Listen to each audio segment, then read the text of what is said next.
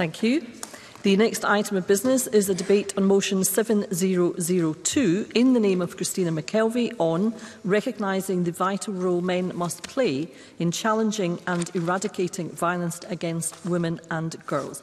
I would ask those members who wish to speak in the debate to please press the request to speak buttons uh, or enter RTS in the chat function. And I call on Christina McKelvey, Minister, to speak to and to move the motion around 13 minutes, please. Uh, thank you very much, Presiding Officer. It is, of course, right that this Parliament collectively recognises the global campaign 16 Days of Activism Against Gender-Based Violence, which highlights the brutality that women across the world still face. But yet, it is also with a sense of regret that we have to do so at all. That in itself ensures a spotlight is on what remains of the most difficult challenges facing our society, both here in Scotland and throughout the world. Violence perpetrated by, against women by men. Of course, it's not all men in any way, but we examine the underlying causes of such violence so we can prevent it.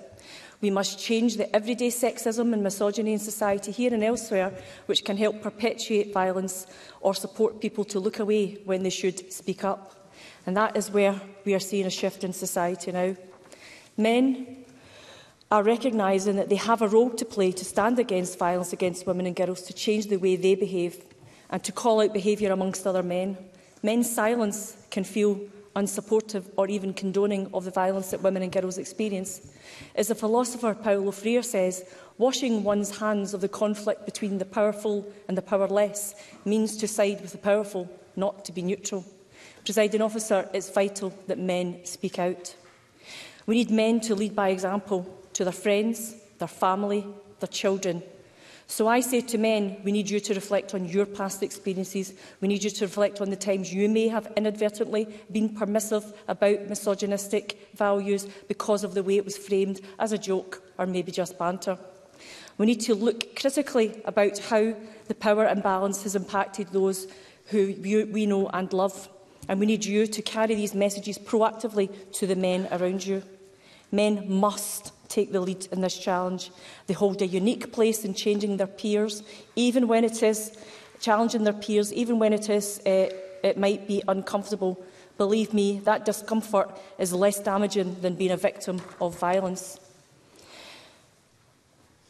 This is what is refreshing about Police Scotland's That Guy campaign. It's an excellent example of men sta standing up to be counted. The campaign challenges casual sexism and encourages self-reflection, urging men to take responsibility for their actions and those of their peers to help affect a culture change to tackle sexual crime against women.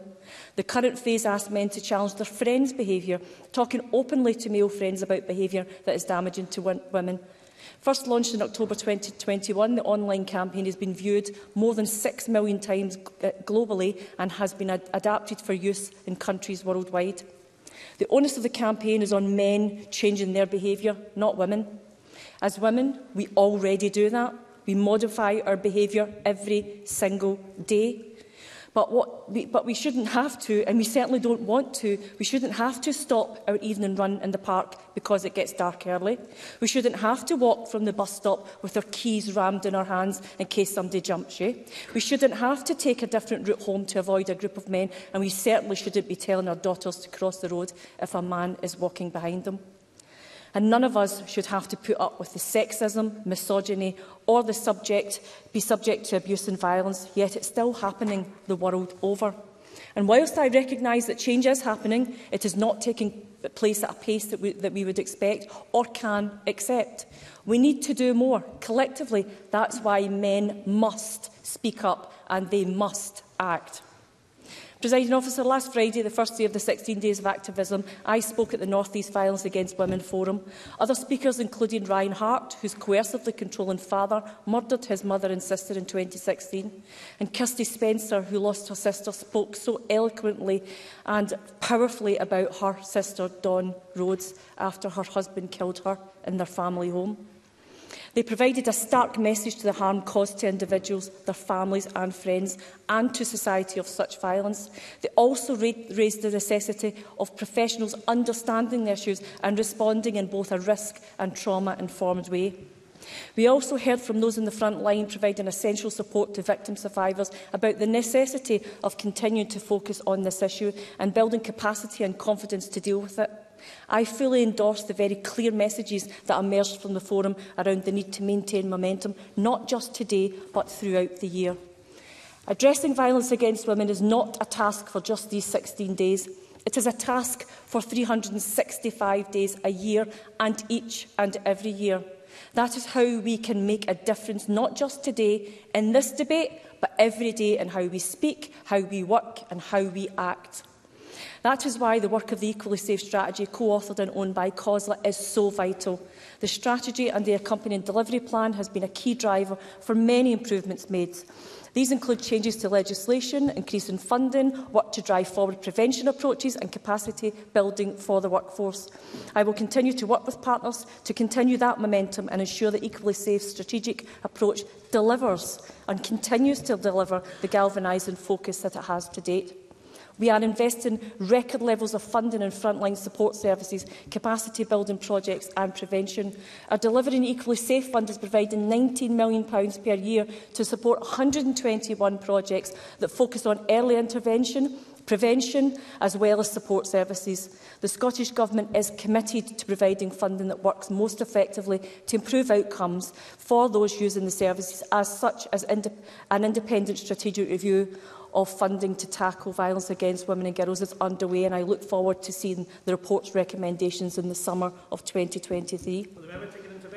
Yes, certainly. Alexander Stewart. Can I thank the Minister for taking the intervention? You talk about the, the risks, the capacity and momentum, and I would be wholeheartedly support you in that, Minister, and the funding that is required. But there is still a massive issue about capacity. And when we see the number of domestic abuse situations continuing to rise, we are still at the tip of the iceberg when it comes to making sure that that momentum is maintained.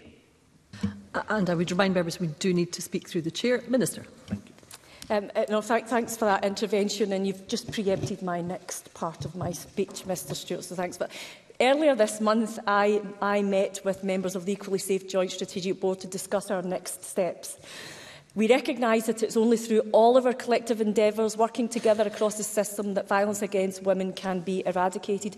We discussed a range of issues around the aims and delivery of the strategy and the importance of an intersectional approach which recognises that many women face intersecting marginalisation, for example disabled women and minority ethnic women.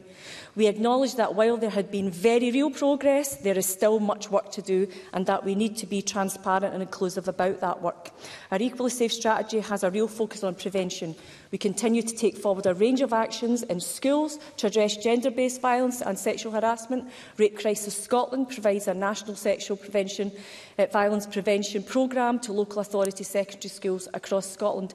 And through our Delivering Equally Safe Fund in Gender has been funded to explore primary prevention policy approaches and create a toolkit to enable policymakers to embed primary prevention in policymaking. We will continue to work with these stakeholders to further developer approach in this area through the next phase of Equally Safe. And if Mr Stewart's really keen in hearing about that, I'd be happy to discuss it with him because I think it'll answer his intervention.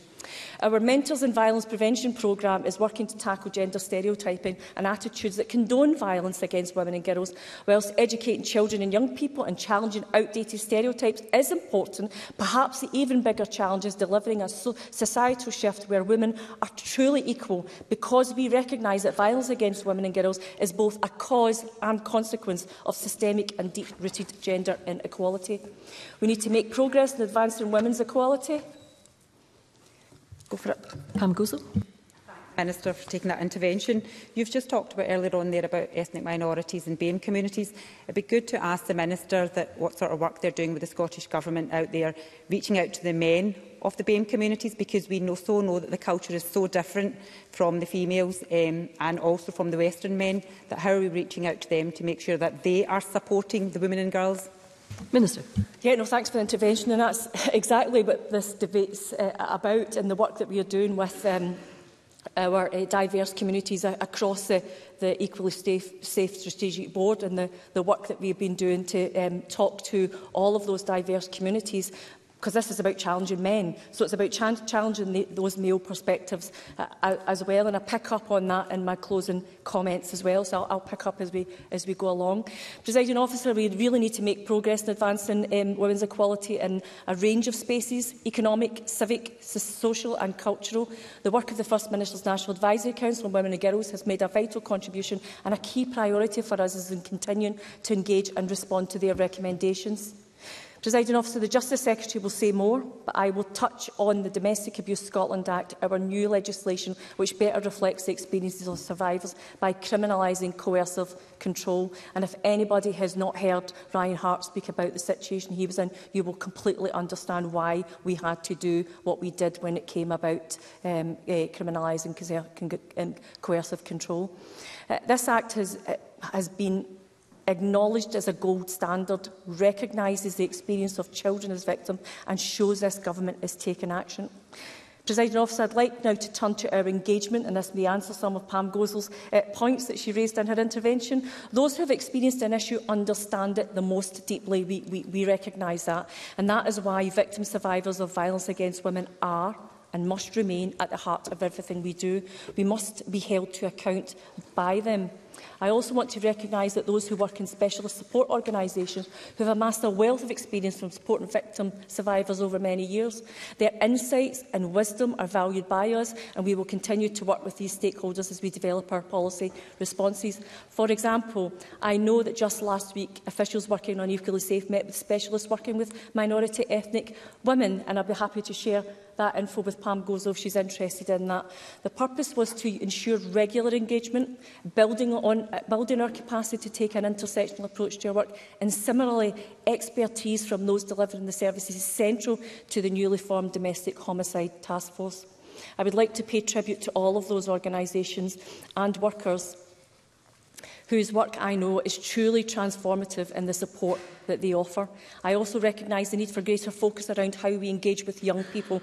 We must never presume to know how best to involve our young people. Similarly, it would be wrong to make ill-informed judgments around how they communicate and engage with each other and with those of us from older generations. We must ask them and we must involve them, which is why this government has been working with members of the Scottish Youth Parliament to ensure, uh, ensure and improve our engagement with younger people. I believe that we must seek their guidance on how we address the societal drivers, which so disappointingly in, in Scotland in 2022 mean that some men and boys still see violence against women and girls as acceptable. This must be challenged. In conclusion, Presiding Officer, this year's 16 Days global theme is Unite activism to end violence against women and girls, focusing on galvanising efforts, sharing knowledge and working together. Presiding officer, that theme recognises that it is only by uniting and taking action that we can tackle, prevent and ultimately end violence against women and girls. I move the motion in my name.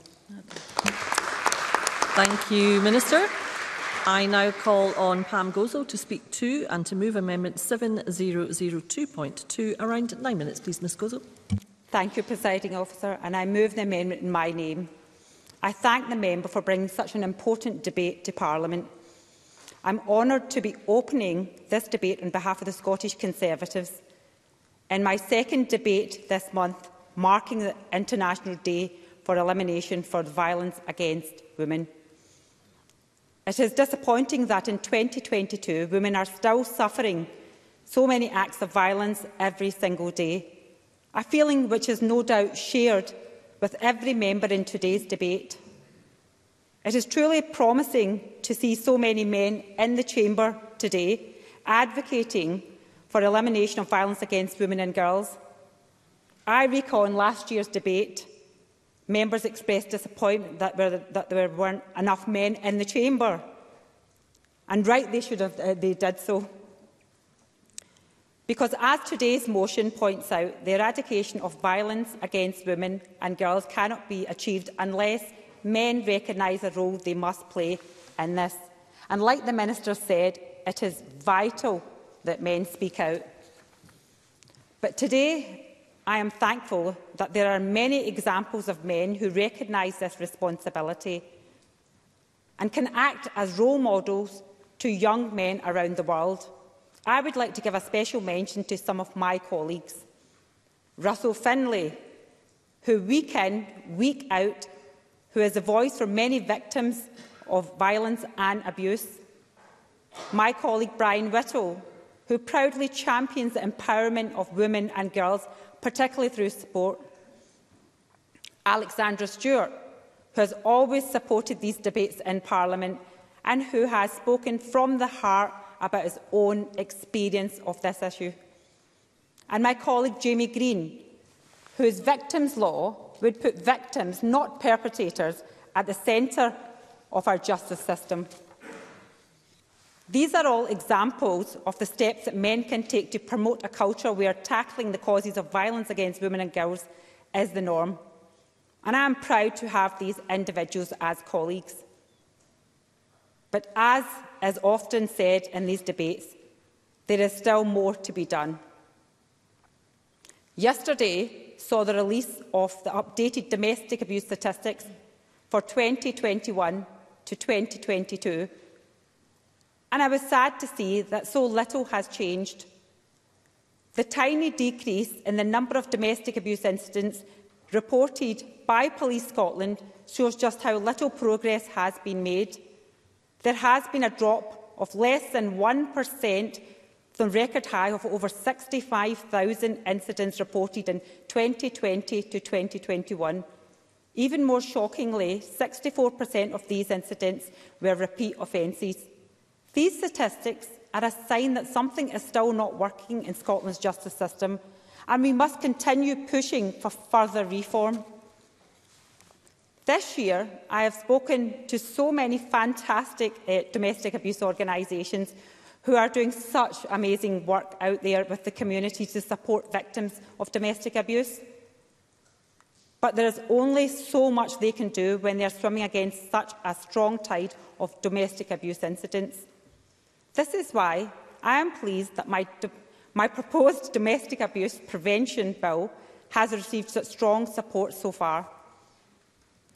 Over 20 organisations have supported my proposal and over 90% of those responding to my consultation were supportive. My proposed bill would aim to tackle the problem of domestic abuse from every angle. It would provide additional checks on abusers to prevent them from moving from place to place and victim to victim. It would also introduce mandatory rehabilitation for those guilty of domestic abuse.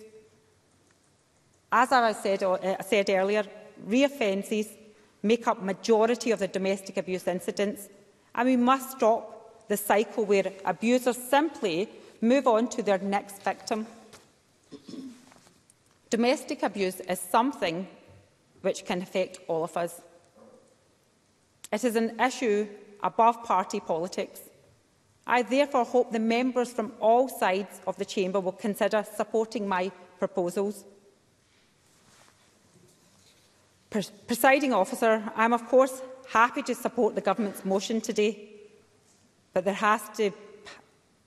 but there have been developments in the last week which need to be addressed. It is important that Parliament is given the opportunity to address the elephant in the room. The amendment in my name seeks to draw attention to the comments last week by the United Nations expert on violence against women and girls.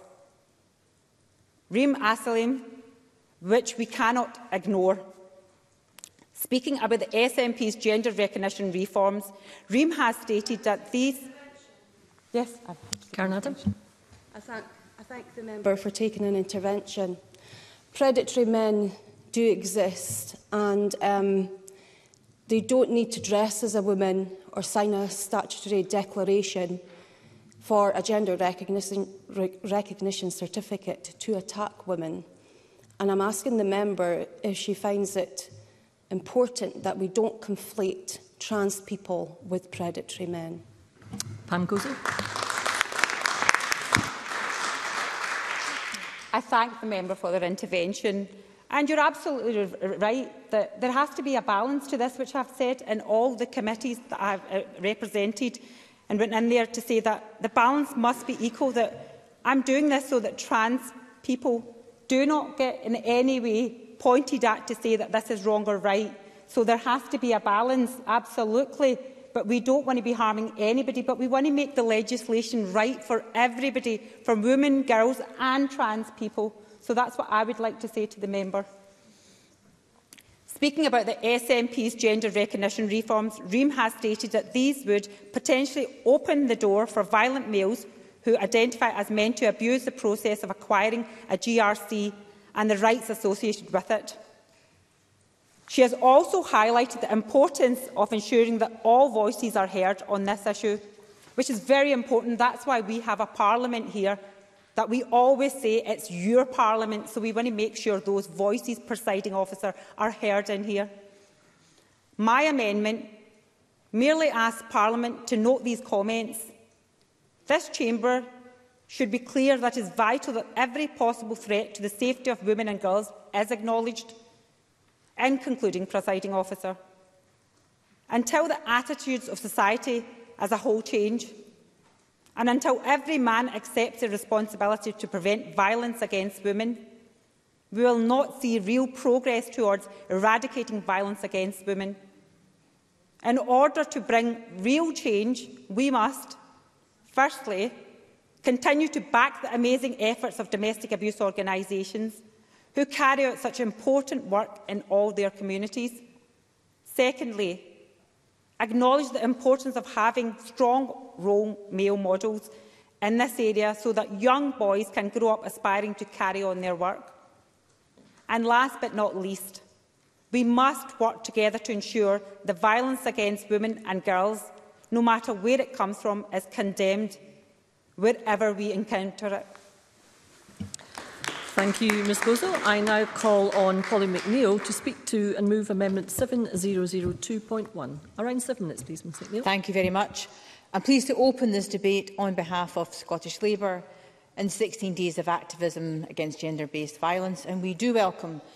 the subject of the government debate as men's role and men's responsibility for violence against women and girls.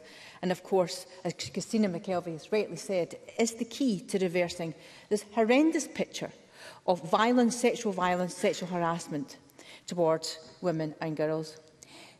In my speech, I wanted to address in some detail Labour's amendment on the inclusion of cybercrime and the role of social media. And Pam Duncan Glancy, in closing, will address some of the wider points. I hope ministers will understand that we were keen to support the government position, but we wanted to get this addition so that we could have a specific uh, inclusion in the debate of cyber sexual crime. We're committed to working with the Scottish Government. In fact, we've launched our own consultation paper last week called Changing the Future for Women and Girls, because we want to be part of this conversation.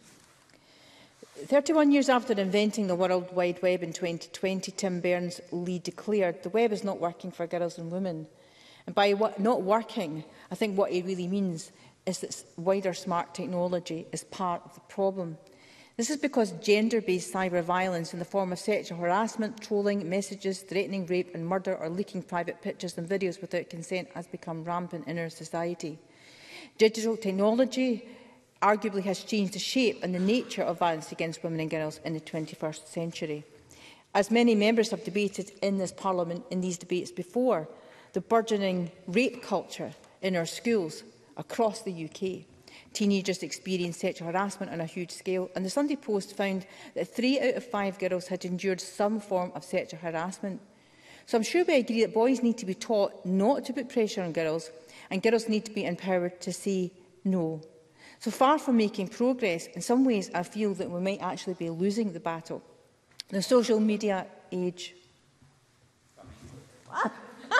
Martin Whitfield behind you. I'm very grateful to my friend bench giving way. Uh, would, would you also agree with me that because of the prevalence in our schools and our education system that some responsibility needs to be taken by both the schools and the educational institutions over the vehicle, i.e. the Wi-Fi, that some of this pornography and abuse is transferred?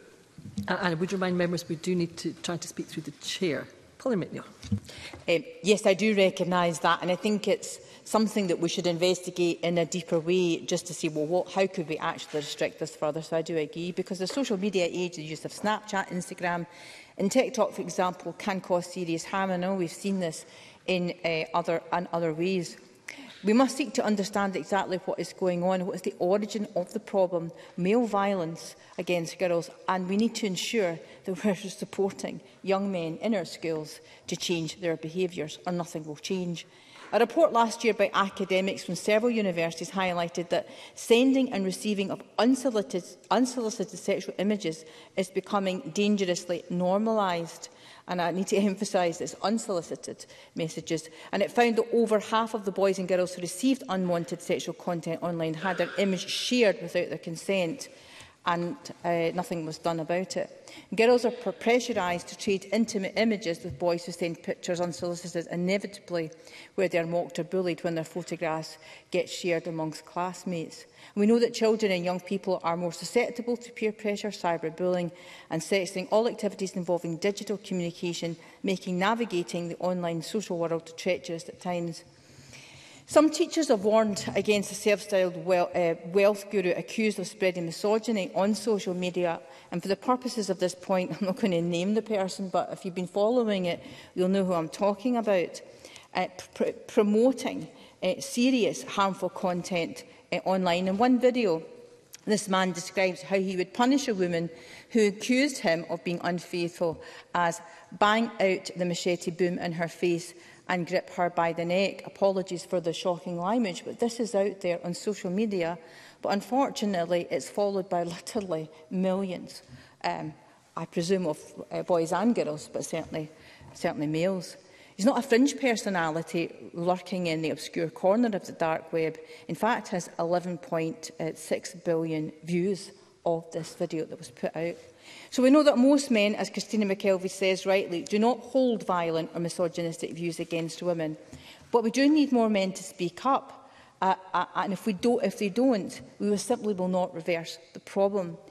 Again, I commend Police Scotland's Don't Be That Guy campaign to encourage men to call out sexist and misogynistic behaviour of their male peers, friends, family members and work colleagues. It is the only way this is a chance of, of changing. We want to build on this important work by tackling sexism and misogyny in schools. And as I've said many times, I do support the Equally Safe programme. I'd like to know a wee bit more about it, actually, um, and I'd like to see it rolled out in more schools. We need to realise that boys and men who need to change their behaviour, perhaps not going to seek this kind of information. So we need to make really seek them out to change their views. Women and girls of Scotland cannot face this alone. Scottish Labour would also say this is down to men to change their behaviour, for policymakers to lead in a way that's changing our society both on and online. Now is the time to put in place long overdue protections for women and girls against cyber violence. And now is the time to educate boys and men on the seriousness of perpetrating violence against women and girls online. Everyday sexism is part of the problem. We need to tackle at every single level, not just in tackling domestic abuse, rape, street harassment and all the crimes against women and girls across the world. But we need a radical strategy to tackle sexism and misogynistic attitudes and I look forward to justice reform that can make the difference in creating a new crimes around the crime of misogyny in this parliament as part of our work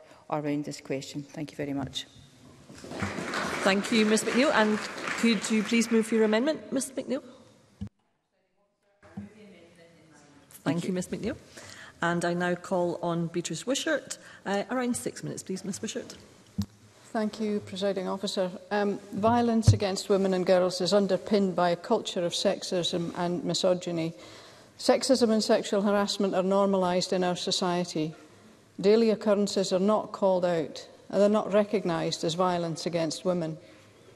The Compass Centre, also known as Shetland Rape Crisis, created an awareness raising project called Safer Shetland. The almost 200 submissions makes for sobering reading. Anonymous contributors describe experiences of sexual violence, including harassment, assault, abuse, and rape, which occurred in Shetland. One writes An old man made comments about my appearance that made me feel really uncomfortable. I was only 16, and the adult standing next to me didn't do anything to help. Another, when I speak up about men leering, people tell me to dress more appropriately, even though it has nothing to do with what I wear. And a third, one day on a bus when I was 16, a much older man sexually harassed me.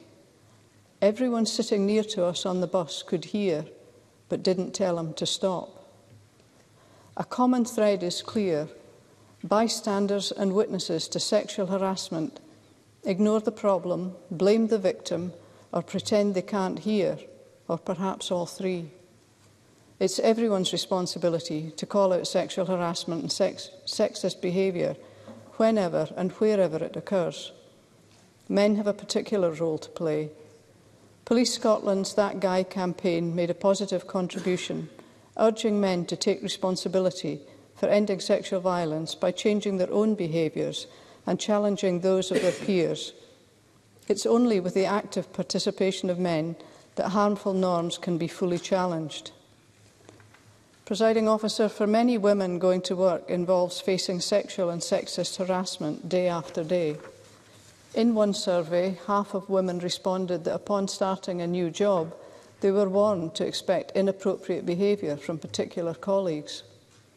Workplaces need clear anti-harassment policies and anti-sexism education for all employees. for women from oppressed and minoritised groups, sexual and sexist harassment interacts with all other forms of discrimination, stereotyping and prejudice, all of which must be addressed to end violence against women and girls. Key work to prevent violence against women starts in schools. Boys and young men need positive male role models who stand up to violence against women. Rape Crisis Scotland run prevention workshops covering gender, consent and the impacts of sexual violence. Shetland Women's Aid works to prevent domestic abuse. I had the privilege of being a trustee of the organisation and I commend the important work they do to support women and families impacted by domestic abuse. As part of the 16 Days of Activism, Shetland Women's Aid and the Compass Centre have staged a play with creative input from survivors about the impacts of coercive control. Shining a light on these stories is important. To end violence against women and girls, we must be able to have these uncomfortable conversations, to understand the extent of the problem and for men particularly to confront each other's behaviour. Presiding officer, the Scottish Government must make every possible endeavour to end violence, men's violence against women and girls. Practical help is needed for organisations working to end gender-based violence. Limited access to legal aid continues to be a barrier to women seeking justice. Scotland needs accessible, specific legal aid services for women affected by domestic abuse. And finally, I have repeatedly called on the Scottish Government to establish a national commission to end violence against women and girls. Bringing together charities and experts on gender-based violence, this commission could inform policy and practice in Scotland. I repeat this call for a commission today. We owe it to all women affected by men's violence to act now. Thank you, Presiding Officer.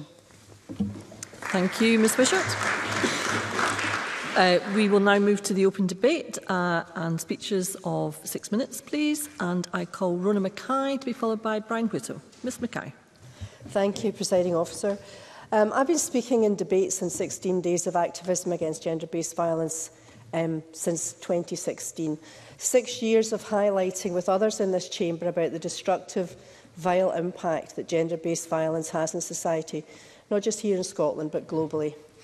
So this year, the theme calls for us to recognise the role that men must play in challenging and eradicating this scourge. And I couldn't agree more.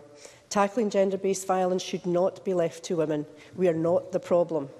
Men must call out vile behaviour at every level, whenever it happens, wherever it happens. They must not turn a blind eye to their peers, families, or family or friends when misogyny and discrimination has been perpetrated because it violates women, diminishes our society and it demeans men. Of course, I, I know that not all men participate in this, but sadly a significant number do. That's why Police Scotland's Don't Be That Guy campaign is a very positive move to shift the wider cultural problem and a huge move in the right direction. Because campaigns and debates like this will not change things overnight.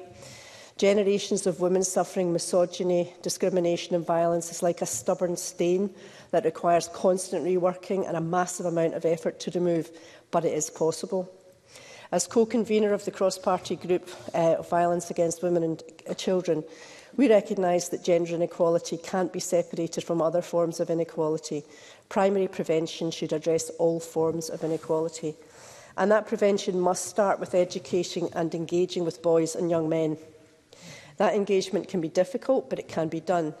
As Rape Crisis says, children and young people cannot be expected to change cultural norms by themselves. So we need to see robust and bold leadership from adult men from all walks of society. Men must be the adults in the room and speak out against sexual violence and misogyny. Presiding officer, I wish we didn't have to have this debate every year because every year we highlight terrible statistics, murders, stalking, domestic abuse, disfigurement, Afghan girls being sold to pay for food to fight famine, sexual war crimes currently being committed in Ukraine is beyond sickening. But everyday disrespect, name-calling, discrimination, unconscious bias are all sickening examples too. Helena Kennedy QC's excellent report, Misogyny, a Human Rights Issue, lays it bare. Giving evidence to the Criminal Justice Committee earlier this year, Baroness Kennedy said, I was shocked And I say that as someone who's a pretty dyed-in-the-wool criminal lawyer who thought she'd seen and heard it all. Every single woman or group that appeared in front of us was saying something had to be done. And something has been done. The Scottish Government is committed to act on the working group's recommendations by creating a new offence of misogyny. In fact, Scotland punches above its weight with its excellent third sector organisations such as Scottish Women's Aid, rape crisis and gender, zero tolerance, close the gap, white ribbon, who engage with men and boys, and many more who protect and support women every day.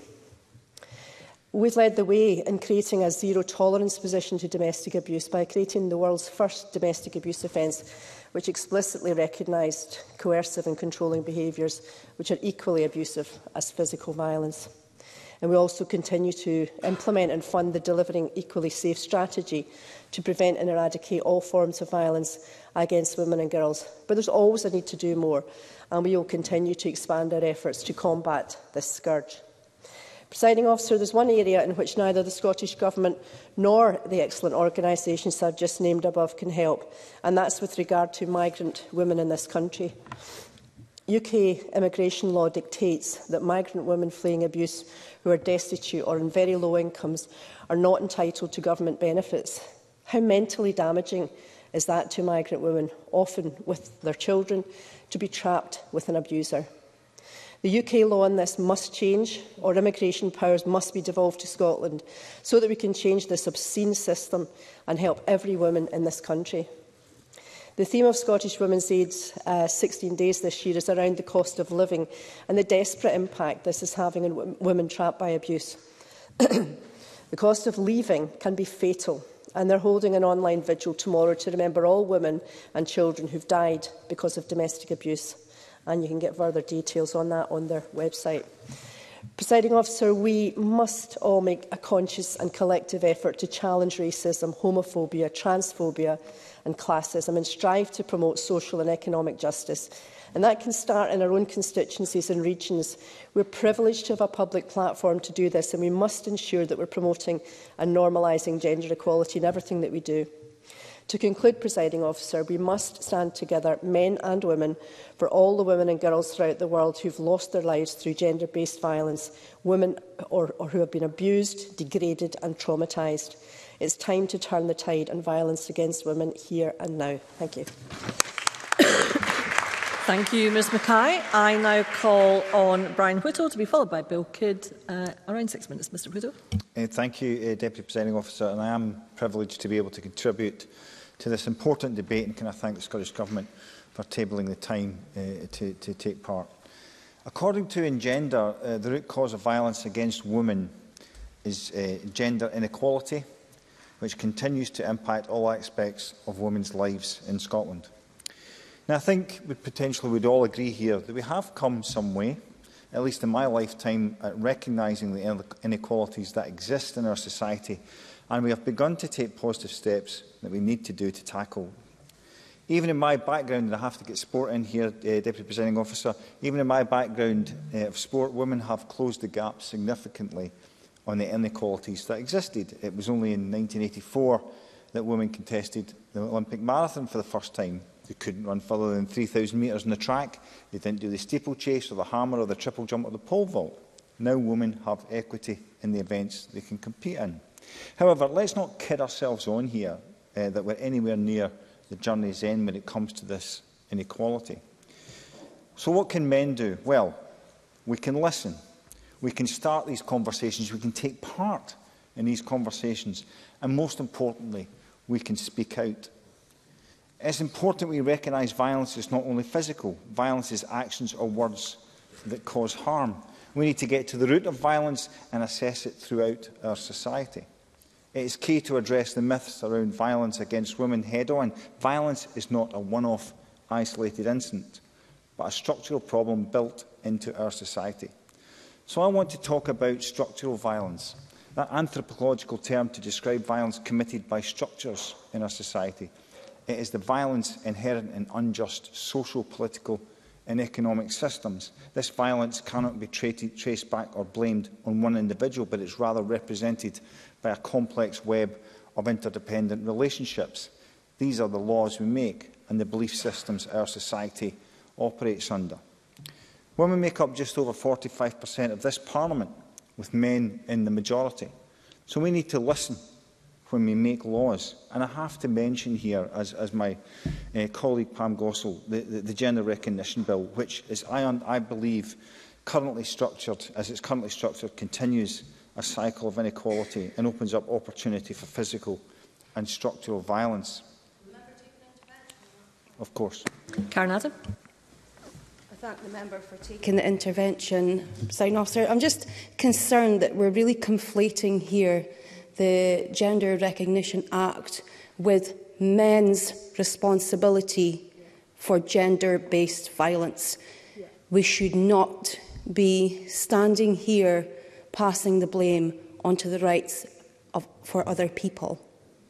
This, so, this lies solely at the feet of men, predatory men. Brian Whittle. And I absolutely agree with you in, in that point. I absolutely agree. But the trouble is, as, as the um, UN Special Reporter Rem Absalom said, th these proposals don't sufficiently take into consideration specific needs of women and girls in all the diversity. And here's the key to this. Police Scotland have received 521 notifications of sex offenders, sex offenders changing their name in the last three years, according to an FOI by the Herald. And it's these predators, these predators that are a danger to women. And it's these predators that are actually a danger to the trans women as well. And the SNP and Scottish Greens struck down Russell Finlay's amendment to make it harder for these sexual predators to change gender. And that's actually where we are. That, that's what I would like to say, say to the member. This is not about anti-trans sentiment at all, but it's ensuring we write good legislation to prevent that structural violence we must ensure that women and trans women feel safe accessing help or we risk moving backwards. I'd like to move on to uh, Michelle's law. Mich Michelle Stewart was murdered at the age of 17 by, George, uh, by John Wilson in Ayr. And I met her mother uh, several times, uh, Deputy Presiding Officer, in my surgeries.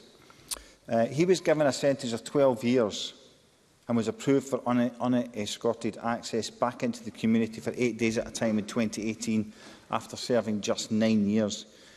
Michelle's family have launched a campaign after saying it was unbelievably painful to see her killer on the street, on the bus or in the shops. And she said to me how fearful she was going out doing simple things, simple things like going to the shops for the family shop because she was terrified that she would bump into this, this man. And even while, while he was in prison, she was terrified of bumping into this man's father, who also, who also intimidated her. So I think that, that, as Michelle's father said, that zero action has been taken by the government. He said that in two years there have been no changes, and he added he thought it was becoming law, but it has disappeared. It's time we started taking action against this kind of injustice. I wanted to uh, briefly talk about social and e-, economic systems. I was in London at the weekend there, and my ex-business partner, partner who was raising capital said he didn't realise how hard it was to raise capital for, for, for a, a business run by women. He also, pregnancy can be used in calculations of affordability of mortgages, causing application rejection and reduction in the amount of loan.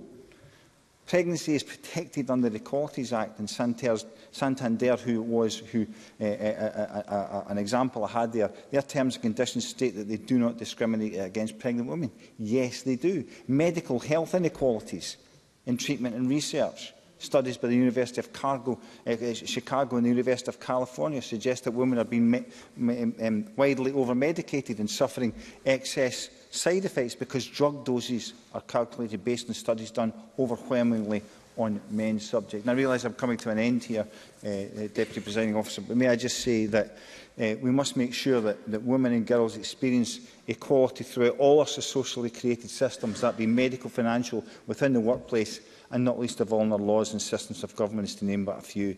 We have travelled far, we have a long way to go, and men, especially men, need to be prepared to step forward and challenge behaviour of those around us. Deputy Presiding Officer. Thank you, Mr Whittle. I now call Bill Kidd to be followed by Martin Whitfield. Around six minutes, please, Mr Kidd. Thank you very much, President Officer, and thank you also to the Minister for Equalities, Christina McKelvey, who has brought the issue of pervasive violence against women and girls to the attention of the Scottish Parliament today in response to the UN 16 Days of Activism campaign. As the motion for debate sets out, we must uproot the cultural acceptance of the various forms of misogyny which permeate Scottish society. Misogyny is the hatred of, contempt for or prejudice against women. That's the term, that's what it means, that's what it means in real life for many people. As Deputy Convener of the Cross-Party Group on Human Trafficking, I have been privileged to work with organisations tackling one of the worst forms of exploitation against women and girls, that's commercial sexual exploitation. We often think that this is an issue far away from Scotland, but this isn't the case. In 2020, the largest group of identified trafficking and modern slavery victims in the UK were British. The Salvation Army recorded an increase of 79% in the number of domestically trafficked people in the UK and 39% of people supported were victims of commercial sexual exploitation. Globally, 99% of victims of sex trafficking are women and girls. So this is a highly gendered issue and we can anticipate that women and girls trafficked and exploited in the UK of any nationality are most likely victims of commercial sexual exploitation, whether this be in prostitution, stripping or live-streamed abuse pornography. UN House Scotland, the Secretariat of the Human Trafficking Cross-Party Group, highlighted in their recent Women's Voices podcast series how closely linked femicide is to sexual exploitation. Retired US Attorney Linda Abraham, an advocacy consultant for Optimus International, spoke about violence against women. She told listeners that since the inception of the UN, we have been discussing this injustice. But here we are in 2022. In many cases, issues have got worse, like domestic violence increasing during the pandemic. A lot of serial killers are targeting sex workers. Girls have to be included too, girls are some of the most vulnerable victims around. I think this is something we need to listen to today. Girls are extremely vulnerable to sexual exploitation and abuse, especially those who are care experienced. In this Parliament, we took steps to incorporate the UN Convention on the Rights of the Child to recognise legally anyone under the age of 18 as a child and afford them rights on this basis, yet more needs to be done. Vice recently reported on the growing number of British children in poverty who are vulnerable to domestic sex trafficking, and they shared a harrowing story of Emily. Emily was coaxed by her, her friend's stepfather into moving packets of cocaine for him. He then trafficked her into commercial sexual exploitation. She was 11 years of age. When Emily was 14, She was gang raped by three men in an empty swimming complex.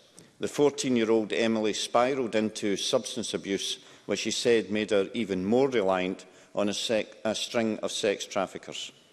This story shows the complexity of the power that traffickers can hold over their victims in prostitution. I felt dead, Emily said. She went on to say, this sounds weird, but it actually felt normal. You start to rationalise everything in your head. It becomes safe in a way, and you get used to the chaos. If she had to guess a number, she estimated that more than 1,500 men had raped her as a teenager. This story of abuse repeats itself again and again. The National Crime Agency estimates that of the 1,115 officially confirmed sex trafficked women in 2017, they endured 3.3 million sexual assaults. That means each of the women and girls were raped almost 3,000 times before managing to find support to exit prostitution and escape their traffickers. 20 years after Emily was first trafficked as an 11-year-old, she felt able to report her experience to the National Referring Mechanism, the, M the NRM, and Emily is now free from prostitution. She's in her 30s, she has a son, and incredibly and so bravely works as an advocate in the anti-slavery sector to speak on behalf of those who are enduring today what she endured as a child. Women and girls currently subject to abuse and coercion have little power to leave their situation, let alone lobby the government. We can, however, listen to the survivors who are no longer under coercive abusive control, like those involved in the A Model for Scotland campaign. We must also listen to the likes of organisations such as the OSCE, IJM, A21, Hope for Justice, SOTUS, UN House Scotland, Care for Scotland and Unseen. These are the people who are combating narratives legitimising sex trafficking, prosecuting abusers, and delivering support for the women and children exploited in this £80 billion a year global industry. In this Parliament, we have the powers to ban some of the worst excesses of violence against women. Today, criminality falls on women in prostitution, those who are being systematically raped and are living in situations of horrific abuse. These women, many of whom were exploited since childhood, have no legal entitlements to help them exit prostitution. Yet those who commit the exploitation, the pimps, who legally can call themselves sex workers, are effectively unchallenged and continue to profit on this cruelty. Moreover, men who purchase sex, who physically and personally commit the violence, have complete impunity.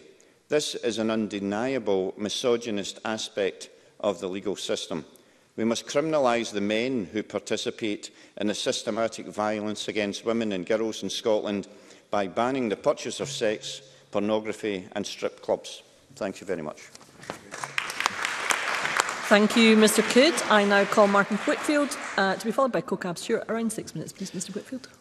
Ken, I thank you, Deputy Presiding Officer, and it is a pleasure to follow Bill Kidd's um, speech talking of the evils of commercial sexual exploitation.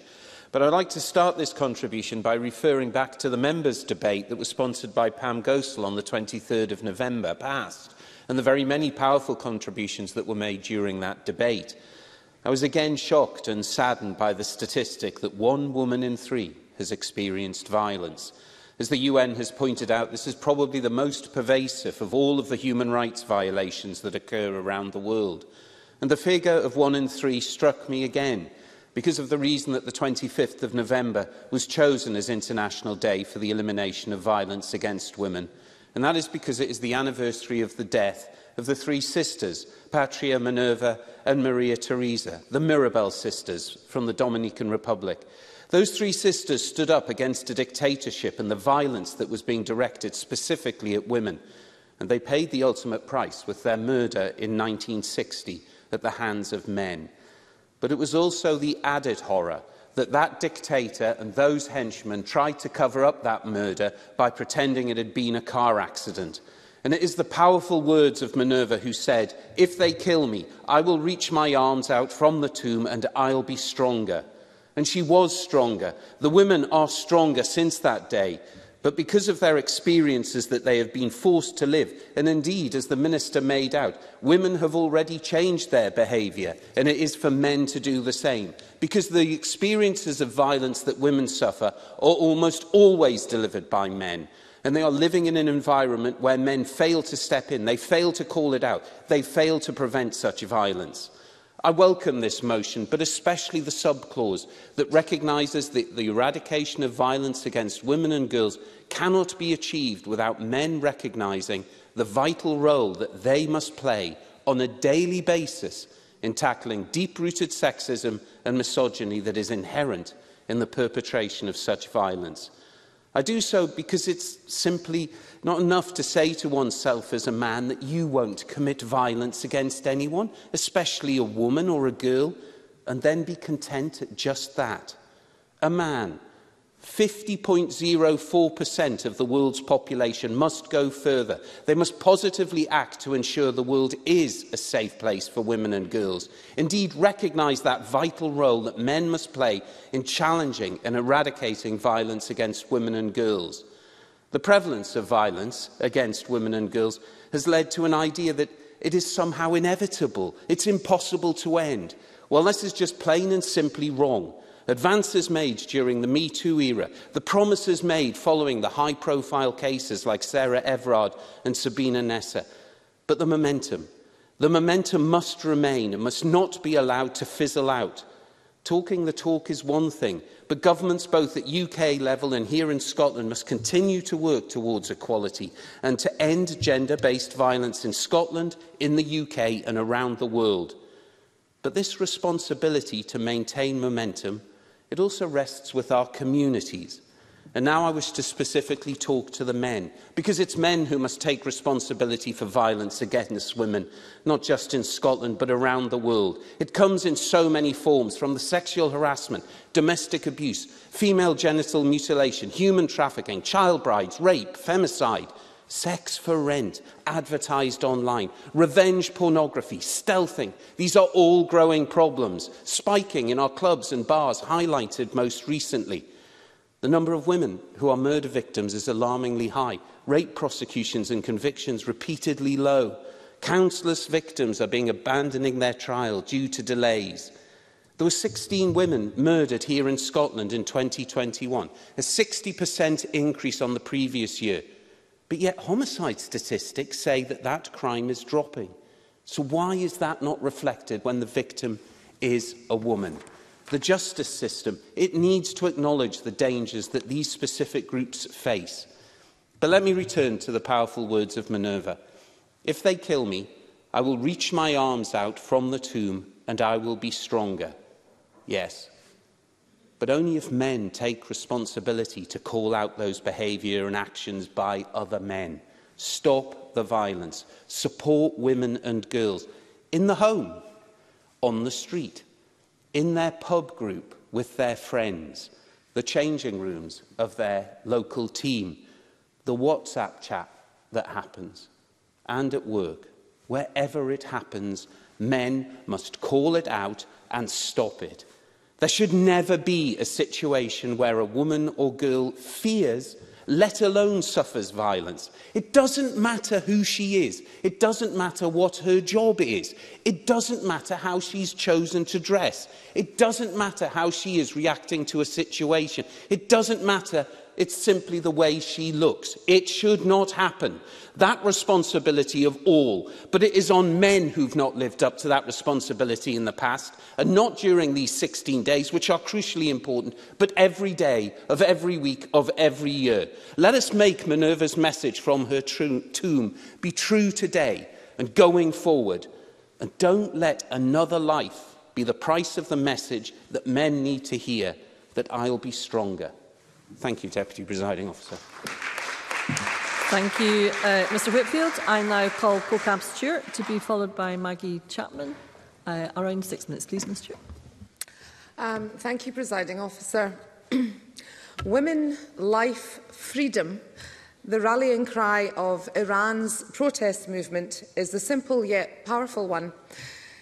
Ignited by the death of 22-year-old Masa Amini in September, just days after her arrest for letting too much hair show from under her headscarf. The uprising has been compounded by decades of anger and repression. Even the widespread execution of protesters has failed to diminish the resolve of those fighting for justice. And it is not just women who have found themselves on the front line. Among the protesters this month, journalist Scott Peterson reported that a team of three middle-aged men that embark on nighttime missions. One drives, another one films, and the third sprays anti-regime slogans and the names of those killed on the walls of militia, government and religious centres. Wishing to remain anonymous, they said, we are all like drops, but when we become rivers, then we become oceans and we are united.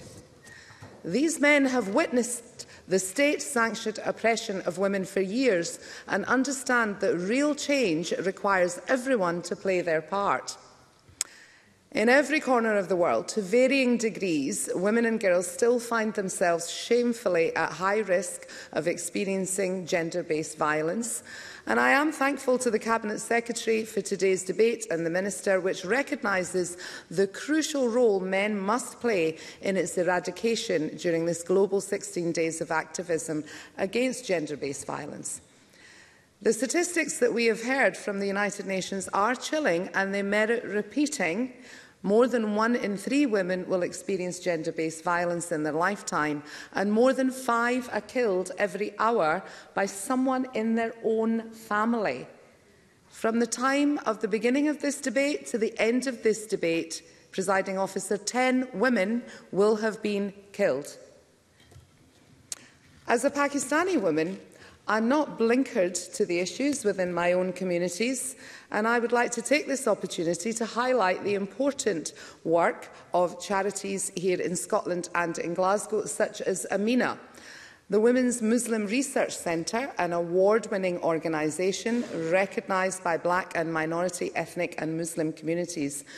for its pioneering and responsive approach to addressing issues and the needs of BME and Muslim women. Amina's focus recently has been on raising awareness around honour-based abuse perpetrated against a woman who is perceived to have brought shame on her family. Perceived usually by men. Last year, during the 16 days of activism, Amina held a vigil to commemorate the lives of black and minority women uh, and Muslim women who lost their lives as a result of this. And I attended that vigil and I stood alongside men and imams and women as I read out the names of the women who had lost their lives. So change is happening, but not fast enough as we know. Women like Anita Ginda from Glasgow, who was killed in 2003, just aged 22. Anita had refused to follow through on a forced marriage and fled to London to rebuild her life and marry the man that she loved, thinking that she had escaped.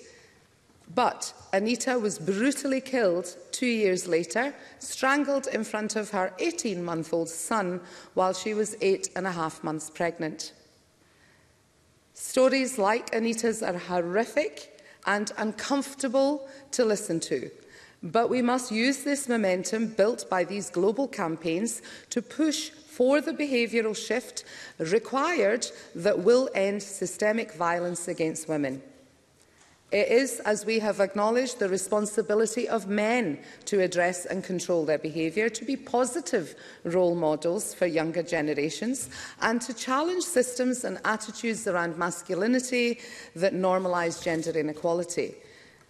Nevertheless, we do have a collective role to play, and I join the ministers and the Cabinet Secretary in applauding Police Scotland's That Guy campaign, which brings these issues to the forefront and has helped stimulate important conversations.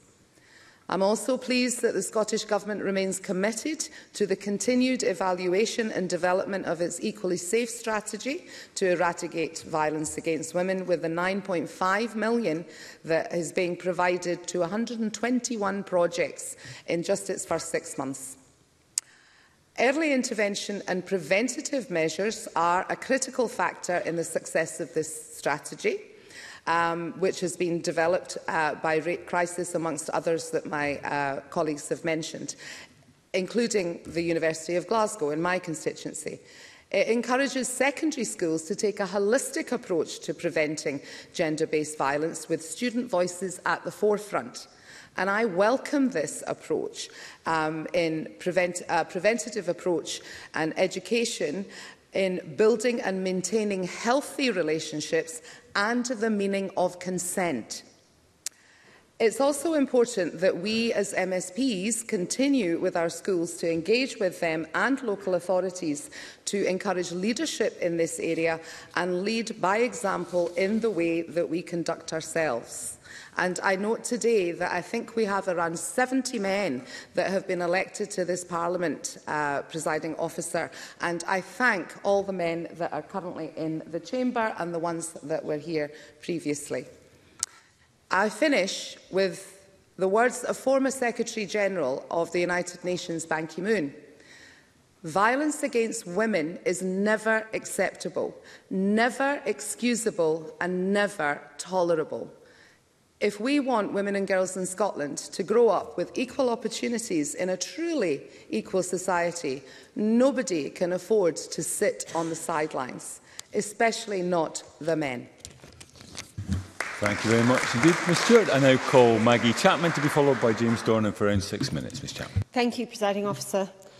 This debate is specifically about the role of men in challenging and eradicating violence against women and girls.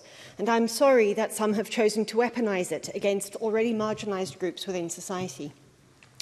Because the framing of this debate recognizes that gender-based violence is primarily a problem of men being violent towards women, including trans women. The behavior which has to change is that of those men, not of the women and girls who endure the consequences. It isn't a problem of how women look, where they go, how they act or dress, or what they say. So why are we here? Why haven't I and all the other women MSPs in this room gone home and left them to it?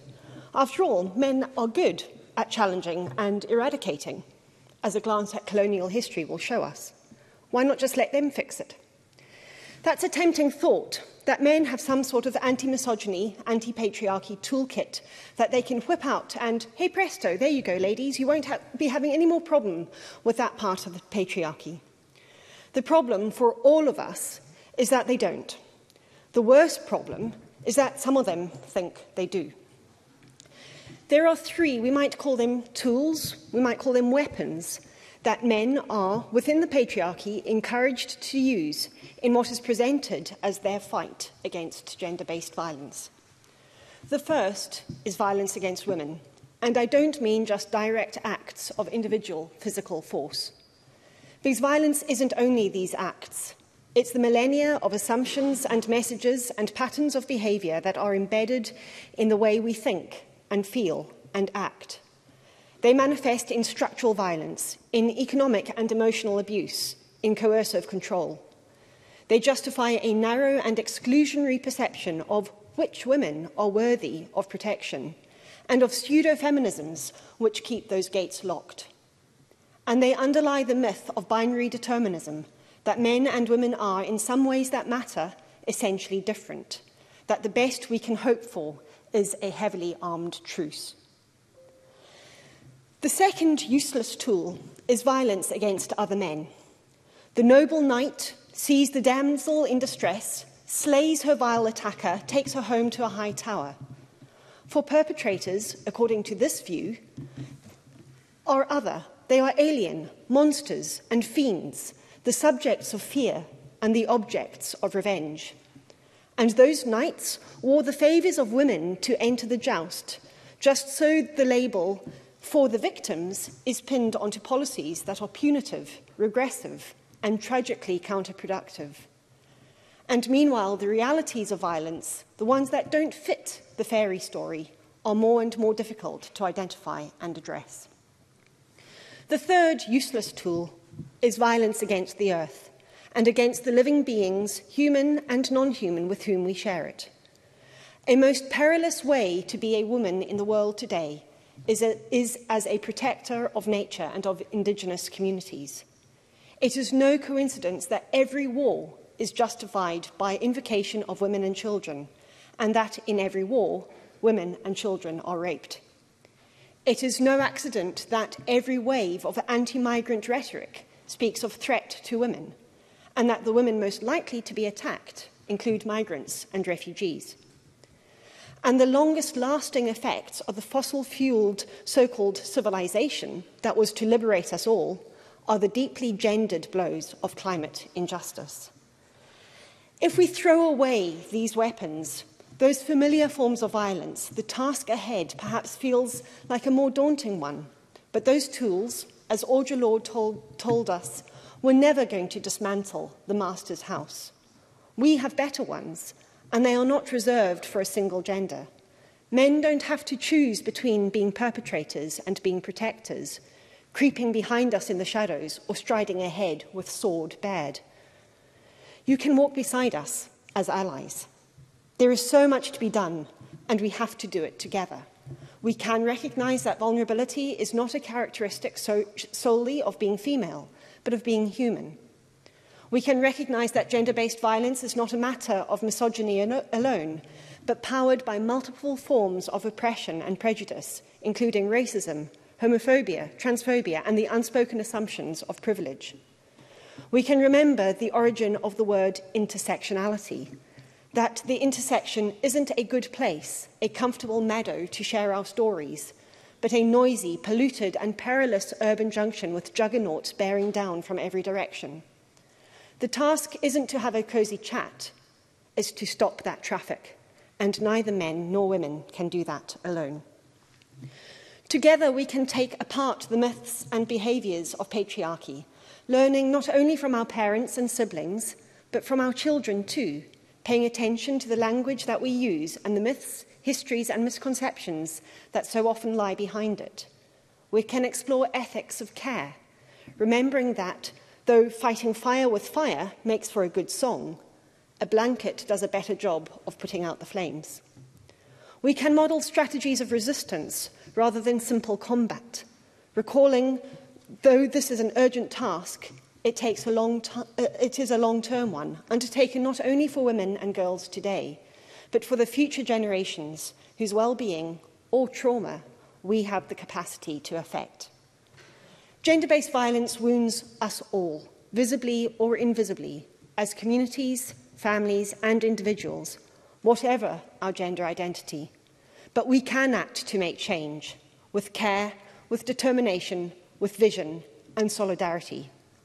Not because you are men, not because we are women,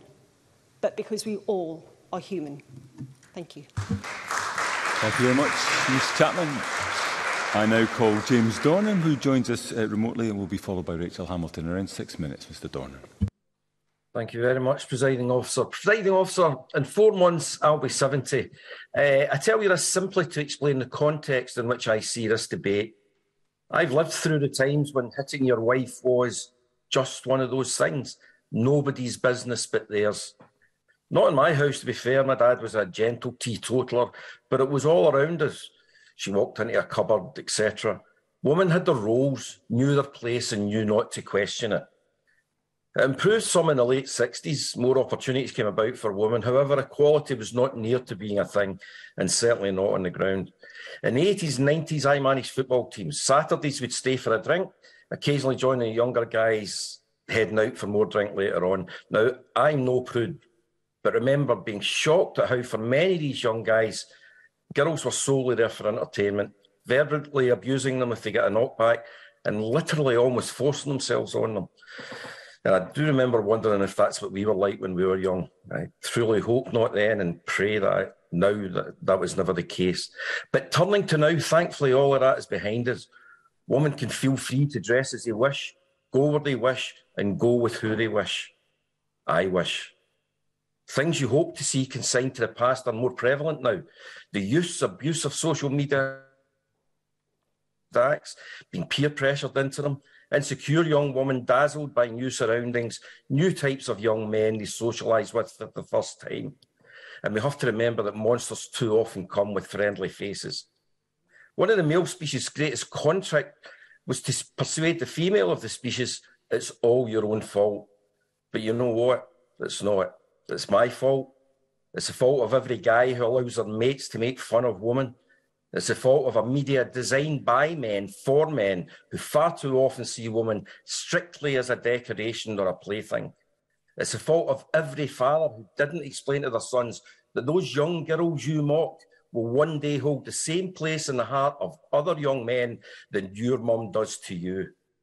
And it's the fault of every man who believes that women really were put on this earth simply as a decoration or their companion and plaything.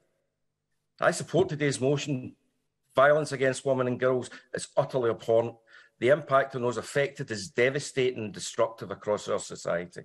I've seen its impact through the work of the Heroes in the Daisy Project and the Waves Peer, Peer Support Group in Castlemalt, a wonderful group of women who have had to persevere through horrors I can't imagine and then find the strength to protect others.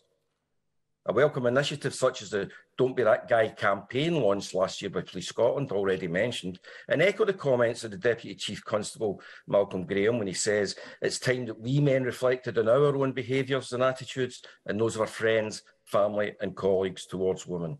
Women are not responsible for the sexual offences committed against them. And whilst I welcome this and other initiatives, I'm keen to know what steps the Minister has taken to evaluate the impact of this initiative. The Scottish Government's Universal Periodic Review on Respecting, Protecting and Fulfilling the Human Rights of Everyone in Scotland, published this October, highlights the positive work of the Government's Equally Safe strategy, a strategy that's helped tens of thousands and will provide invaluable support for over 100 projects across the period 2021 to 2023. And this strategy brings me on to the one individual case that, as well as breaking my heart, made me see more clearly than at any other time the damage we men are capable of inflicting through our own selfish actions. We all know of the case of Emily Druitt, and I won't be going over it again, and the incredible courage and determination her mother Fiona showed to try to ensure that no other young woman would ever be bereft, bereft of a safe place to go when she was scared, lost, or unsure. For this family to create something so durable, so important from the tragedy of the loss of their beautiful Emily is an eternal monument to the strength and courage of this wonderful family. But this is also a good time to give the Scottish Government a well deserved pat on the back because ever since the moment I introduced Fiona to Shirley Ann Somerville, who was the appropriate minister at the time, the commitment to make something good happen has never wavered. And with the Minister, Christina McKelvey, we have another passionate fighter for the cause of women and those who need our support. And I'm so pleased to see her leading this debate today. There's a lot of positive work being done. However, much is focused, and rightly so, on being reactive rather than proactive. And if we're to eradicate violence against women and children, it's important to not only recognise the role men play, but to develop and implement policy that changes perceptions and promotes a wider cultural shift today's motion speaks in education is central to this. Some of Equally Safe's work is focused on this, on prevention, on awareness raising through targeted sessions within schools, youth groups, universities and colleges. That is encouraging. However, in Equally Safe's report, they highlight a reluctance to allow visits into school to deliver awareness raising session. That is extremely worrying. We need to develop policy that mainstreams these initiatives, that sown into the fabric of our learning from an early age, and the government has an opportunity to make this happen. The Minister will be aware that a new equally safe delivery plan is set to be drafted in the new year. I hope we take this opportunity to take on board the comments made and explore how we can mainstream tackling this issue in our education system from an early age to hopefully prevent it from becoming one in the first place. Presiding officer, to conclude, There's a lot of good work going on, and it's making and will continue to make a difference. However, it's now time for the only people who can truly change things for the better to stand up. We men must accept that for far too long we've been the problem. Now it's time for us to become a major part of the solution. Thank you.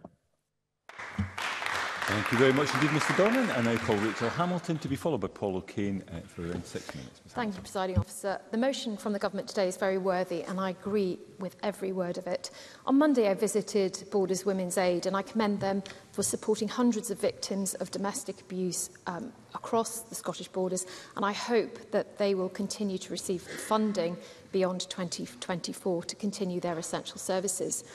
I hope that today's debate also encourages more men to prevent uh, abuse and violence against women and girls, as mentioned by many, but especially our male colleagues across the chamber today. Today, I want to focus my remarks on Pam Gozel's amendments, because whilst the government's words are commendable, it is action that is more important. And the actions of the government that they've taken so far in terms of the Gender Recognition Reform Bill, in my opinion, are not good enough. Already, yes, of course. Cabinet Secretary. Uh, can I thank the member for taking the intervention? It's just that she mentioned the fact the government's words, uh, the motion which is before us, was agreed with all parties in order that we could speak as one.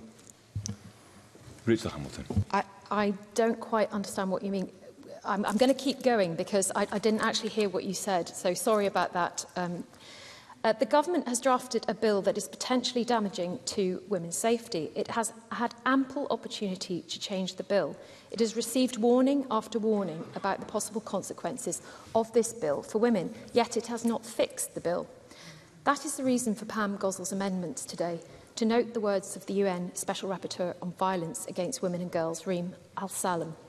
It is a necessary amendment because the government is not taking those words seriously enough. The government is not even pausing the Gender Recognition Reform Bill to consider Mr Salem's words. I wrote to the First Minister about this on Monday. I asked that she suspends this legislation until we can hear from the UN expert. Ms Asalam has offered to provide expertise to the First Minister personally.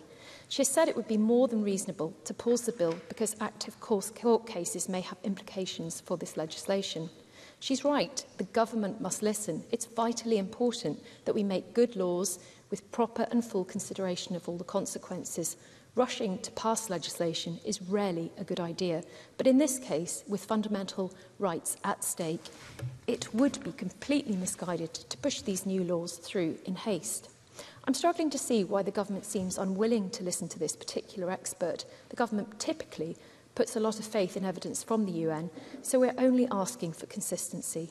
It would be grossly unfair to women and girls with sincere and valid concerns about the legislation if the government was to decide to cherry pick the opinions it relied upon whilst ignoring a UN advisor who has expertise in this very area. Yes. Minister. Uh, thank you very much. Uh, Presiding officer, the, the member makes an important point about um, what uh, other people like the UN Rapporteur has said about the Gender Recognition Bill. I would suggest that this debate today is not about that. However, she puts great stock in us listening to people, so will she listen to the women's organisations in gender, Just Right Scotland, Scottish Women Rights Centre, the Chief Executive of Scottish, Scottish Women's Aid, the Director of Amnesty International and the Chief Executive of Rape, Rape Crisis Scotland, who have all written to Ms Asalam to tell her about the safeguards that are currently in place to protect women in the GRR Bill. Rachel Hamilton, well, I you the time back. Time, thank you. Um, I thank Christina McKelvey for her intervention. Of course, that, um, that has just been tweeted uh, whilst we were told to keep that uh, in confidence in the committee until the 10th of December. But evidence from such as Rape, Rape Crisis Scotland has been considered already in committee. However, the evidence from the UN Special Rapporteur for Violence Against Women and Girls has not been considered. And by the Scottish Government's own admission, The, no, I, I won't just now, thank you, Maggie Chapman, because I'm actually responding to Christina McKelvey's intervention. By the Scottish Government's own admission, the bill will expand the number of people who can apply for a GRC, and the proposed self-ID system makes it easiest for them to do so. So the argument that the, the organisations that Christina McKelvey has just mentioned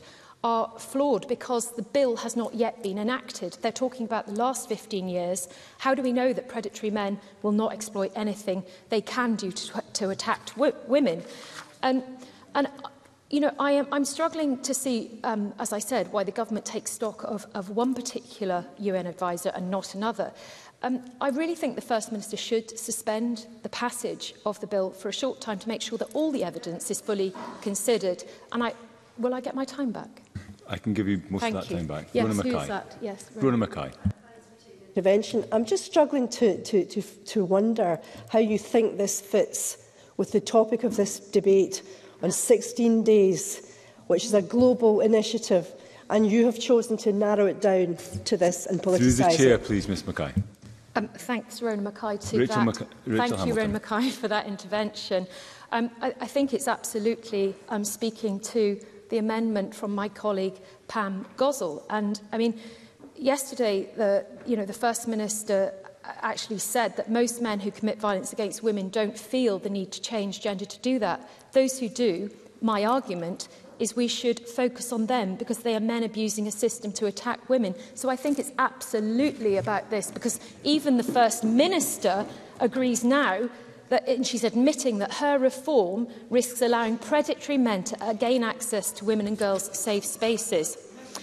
So um, the First Minister really, as I said, should just suspend the passage, and I await a response um, to see what the government has said um, will say so far, but it seems the answer will be no. S since it appears the bill will not be suspended, I will use my speech to bring the words of Ms Asylum to the Chamber so that they are at least considered for a short time, but briefly by um, the Parliament. She said, and I quote, the ongoing efforts to reform existing legislation by the Scottish Government do not sufficiently take into consideration the specific needs of women and girls in all diversity, particularly those at risk of male violence and those who have experienced male violence. Ms Asylum adds that she shares the concerns that such proposals would potentially open the door for violent males who identify as men to abuse the process of acquiring a gender certificate and the rights that are associated with it. This presents potential risks to the safety of women in all their diversity, including women born female, trans women and gender non-conforming women. Mr Salem also considers about the lack of clarity in the government proposal. She says, and I quote again, The Scottish Government does not spell out how the government will ensure a level of scrutiny for the applications made to acquire a GRC under the new proposal. It is not unreasonable to expect the government to spell out what level of scrutiny will continue in the procedure or details important aspects of it, including the specific... I'll just finish the quote. Thank you very much, Karen. Adam. Steps the procedure entails and the conditions for refusing such applications in the law itself, or at least in the explanatory notes of the concerned legislation. Other governments have adopted a self-identification pro uh, procedure for the legal recognition of gender, gender identity have done so. And these words should cause the government to at least pause and reconsider the sweeping legislation it has to pass. Okay, I don't think I can take your intervention. I'm very sorry. Um, would you like me to uh, wind up? If you could up? begin winding up. Okay. In closing, presiding officer, let me appeal to the government to go beyond the comforting phrases they used today. They must finally listen to women who are concerned about the gender reform bill and the Parliament must hear evidence from experts at the UN about its potential consequences. Thank you very much, Presiding Officer. Thank you, Ms Hamilton. I now call Paul O'Kane to be followed by Colette Stevenson for in six minutes, Mr O'Kane. Thank you, Deputy Presiding Officer, and I'm pleased to have the opportunity to contribute to this vitally important debate as we mark the 16 days of activism against gender-based violence. And I intend to focus my comments on the role that men must play in challenging and eradicating violence against women and girls. But I was proud today that my colleague Polly McNeill launched our party's Ending Violence Against Women and Girls consultation paper. Uh, and I want to commend that work and the work of people like Polly McNeill and our party over many years on these issues to ensure that we can tackle these um, very pernicious and serious issues, which indeed I heard labelled this week by uh, the Queen Consort, no less, as a pandemic of heinous crimes uh, that exists not only in our country but around the world. Uh, and I think that her contribution in these 16 days is something that we would all recognise as being something that we all need to really focus on uh, tackling. Because women have shown bravery, courage and strength over the years in calling out the horrific abuses of power and acts of sexual exploitation and violence which have been carried out by men um, who believed that their income, their status would protect them from being challenged, called out or held accountable for their behaviour. And we should take a moment to thank those brave women uh, today, but also to remember all those who have been killed due to violence against women and girls, uh, who we've heard mentioned by colleagues across the Chamber today. But let me be clear, presiding officer, the primary burden of challenging dangerous, toxic, violent behaviour by men should be by men. Men have to take responsibility to change their behaviour. We must be part of the solution because misogynistic attitudes remain deep-rooted in the foundations of our society. These attitudes reveal themselves in small, subtle actions, or they present in a more overt and aggressive manner through the derogatory comments on women's appearance, sexist humour, including sickening rape jokes. And we know that in this day and age, This exists online in a way that was never present uh, in generations past, and I thought Paula McNeill's contribution in that regard and the amendment Scottish Labour have brought is absolutely crucial in beginning to deal with uh, what happens in these online spaces. In recent years, there have been particularly disturbing increases in incidents of women having their drinks spiked in our bars and clubs. Men must challenge their male relatives, their male friends, uh, and call out the behaviour when they see it, when they hear an inappropriate joke about a woman's appearance, when they see behaviour with women that is problematic. The role that men play in this space is vitally important, and that's why I support White Ribbon Scotland and the fantastic work that they do in getting men to challenge and hopefully begin the process of eradication of violence against women. And I, first encountered White Ribbon when I was a local councillor, and I want to pay tribute today to local authorities across Scotland who play a vital role in these 16 days, and particularly in encouraging, um, as we've heard referred in, in other contributions, encouraging our schools uh, and our colleges and universities to uh, educate people, particularly young men, about the role that they have to play. Uh, and again, we see a real variety of activity happening across our local authorities in these 16 days. My colleague in Inverclyde, Councillor Francesca Brennan, for example, is running uh, a Reclaim the Streets glow-up walk in Greenock on the 6th of December and is encouraging particularly younger women and girls to come along and to take part in that uh, and to stand up uh, against the violence is experienced too often on our streets.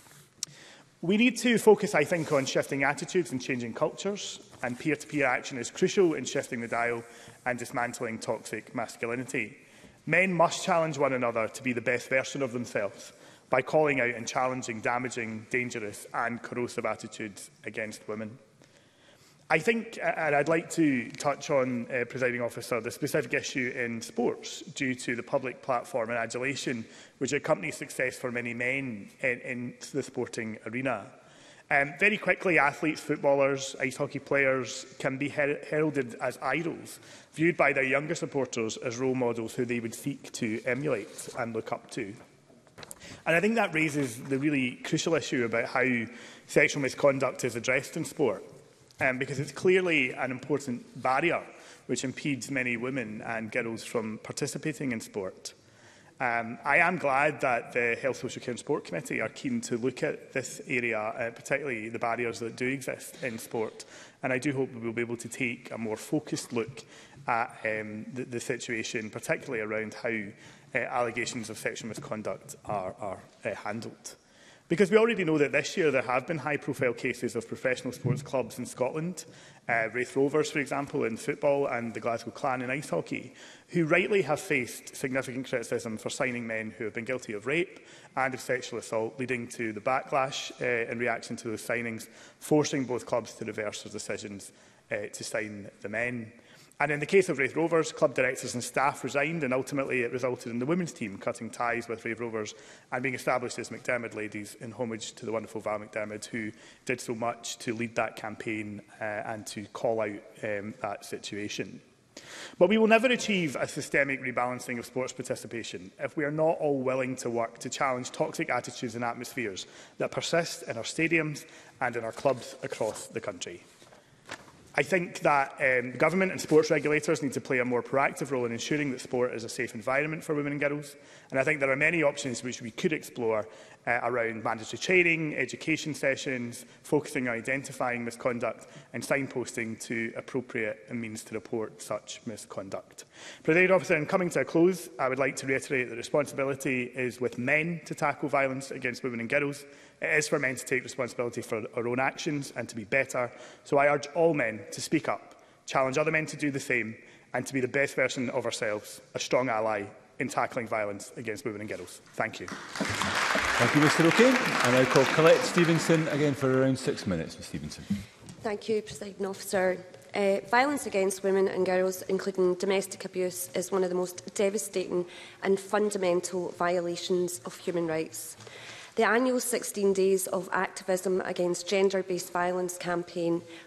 was started over 30 years ago.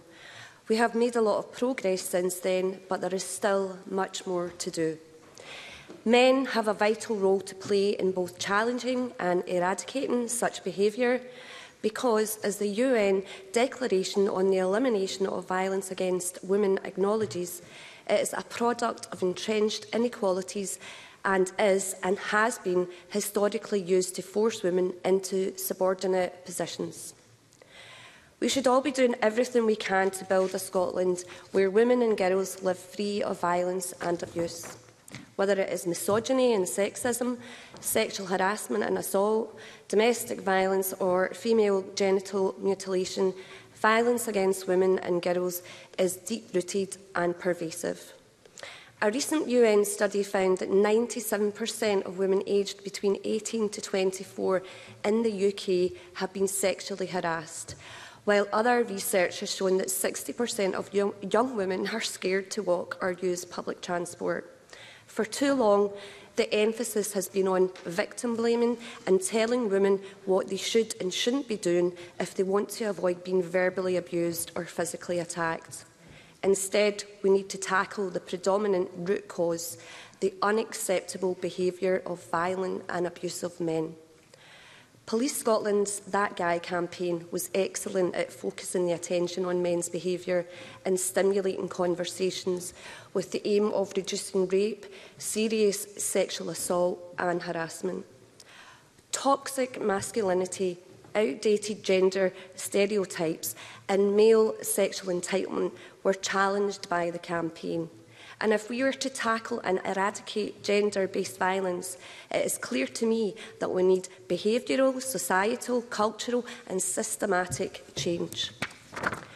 I welcome the Minister's work on Equally Safe Scotland's strategy to prevent and eradicate violence against women and girls which sets out a vision of prevention, improving support services and strengthening the justice response for victims and perpetrators. In recent years, there have been several reforms to the justice system, including the introduction of the world-leading Domestic Abuse Act, which made psychological abuse and coercive control and behaviour a crime, and the expanded powers given to police, prosecutors and the courts to tackle such crimes. Official statistics for 21-22 released yesterday show that there has been a 1% decrease in the number of domestic abuse incidents recorded by the police compared to the previous year. However, abusers manipulate and control their victims, so it can be difficult for victims to recognise what's happening and then to seek help. And the most recent Scottish Crime and Justice Survey estimates that only one in five domestic abuse cases are reported to the police. To anyone experiencing violence, including coercive and controlling behaviours, please seek help, advice or support. In terms of tackling the cultural and social issues, It is only by prioritising prevention that we can end violence against women and girls. Equally, equal, equally Safe at School recognises the important role of educational settings in preventing gender-based violence before it occurs through teaching children and young people about healthy relationships and consent. I particularly welcome the Mentors in Violence Prevention peer education programme delivered in schools across Scotland. This gives young people the skills to recognise and challenge gender-based violence and sexist language and assumptions. By empowering younger generations with this knowledge, I believe we will be taking great strides in terms of the goal to eradicate violence against women and girls. Economic inequality, including the gender pay gap, is a long-standing issue, yet another symptom of the histori historical discrimination and sexism targeted at women. This can often be helpful to coercive partners who can make women feel dependent financially. We see this continued through the universal credit system, where households receive one payment. As Scottish Women's Aid set out, This weakens women's access to an independent income and facilitates abusers' ability to gain financial control. More needs to be done to tackle issues in the workplace as well if we are serious about eradicating violence against women and girls. It's important that employers take their responsibilities seriously, including by implementing equal pay for men and women, ensuring women have wraparound support in case of gender-based harassment or abuse, and ensuring there is education for male employees inspired by Equally Safe. We all have a collective duty to, to unite and do everything we can to tackle gender-based violence because it is one of the most devastating and fundamental violations of human rights. Perpetrators must be held to account and women and children need to have access to suitable frontline services dealing with violence and domestic abuse.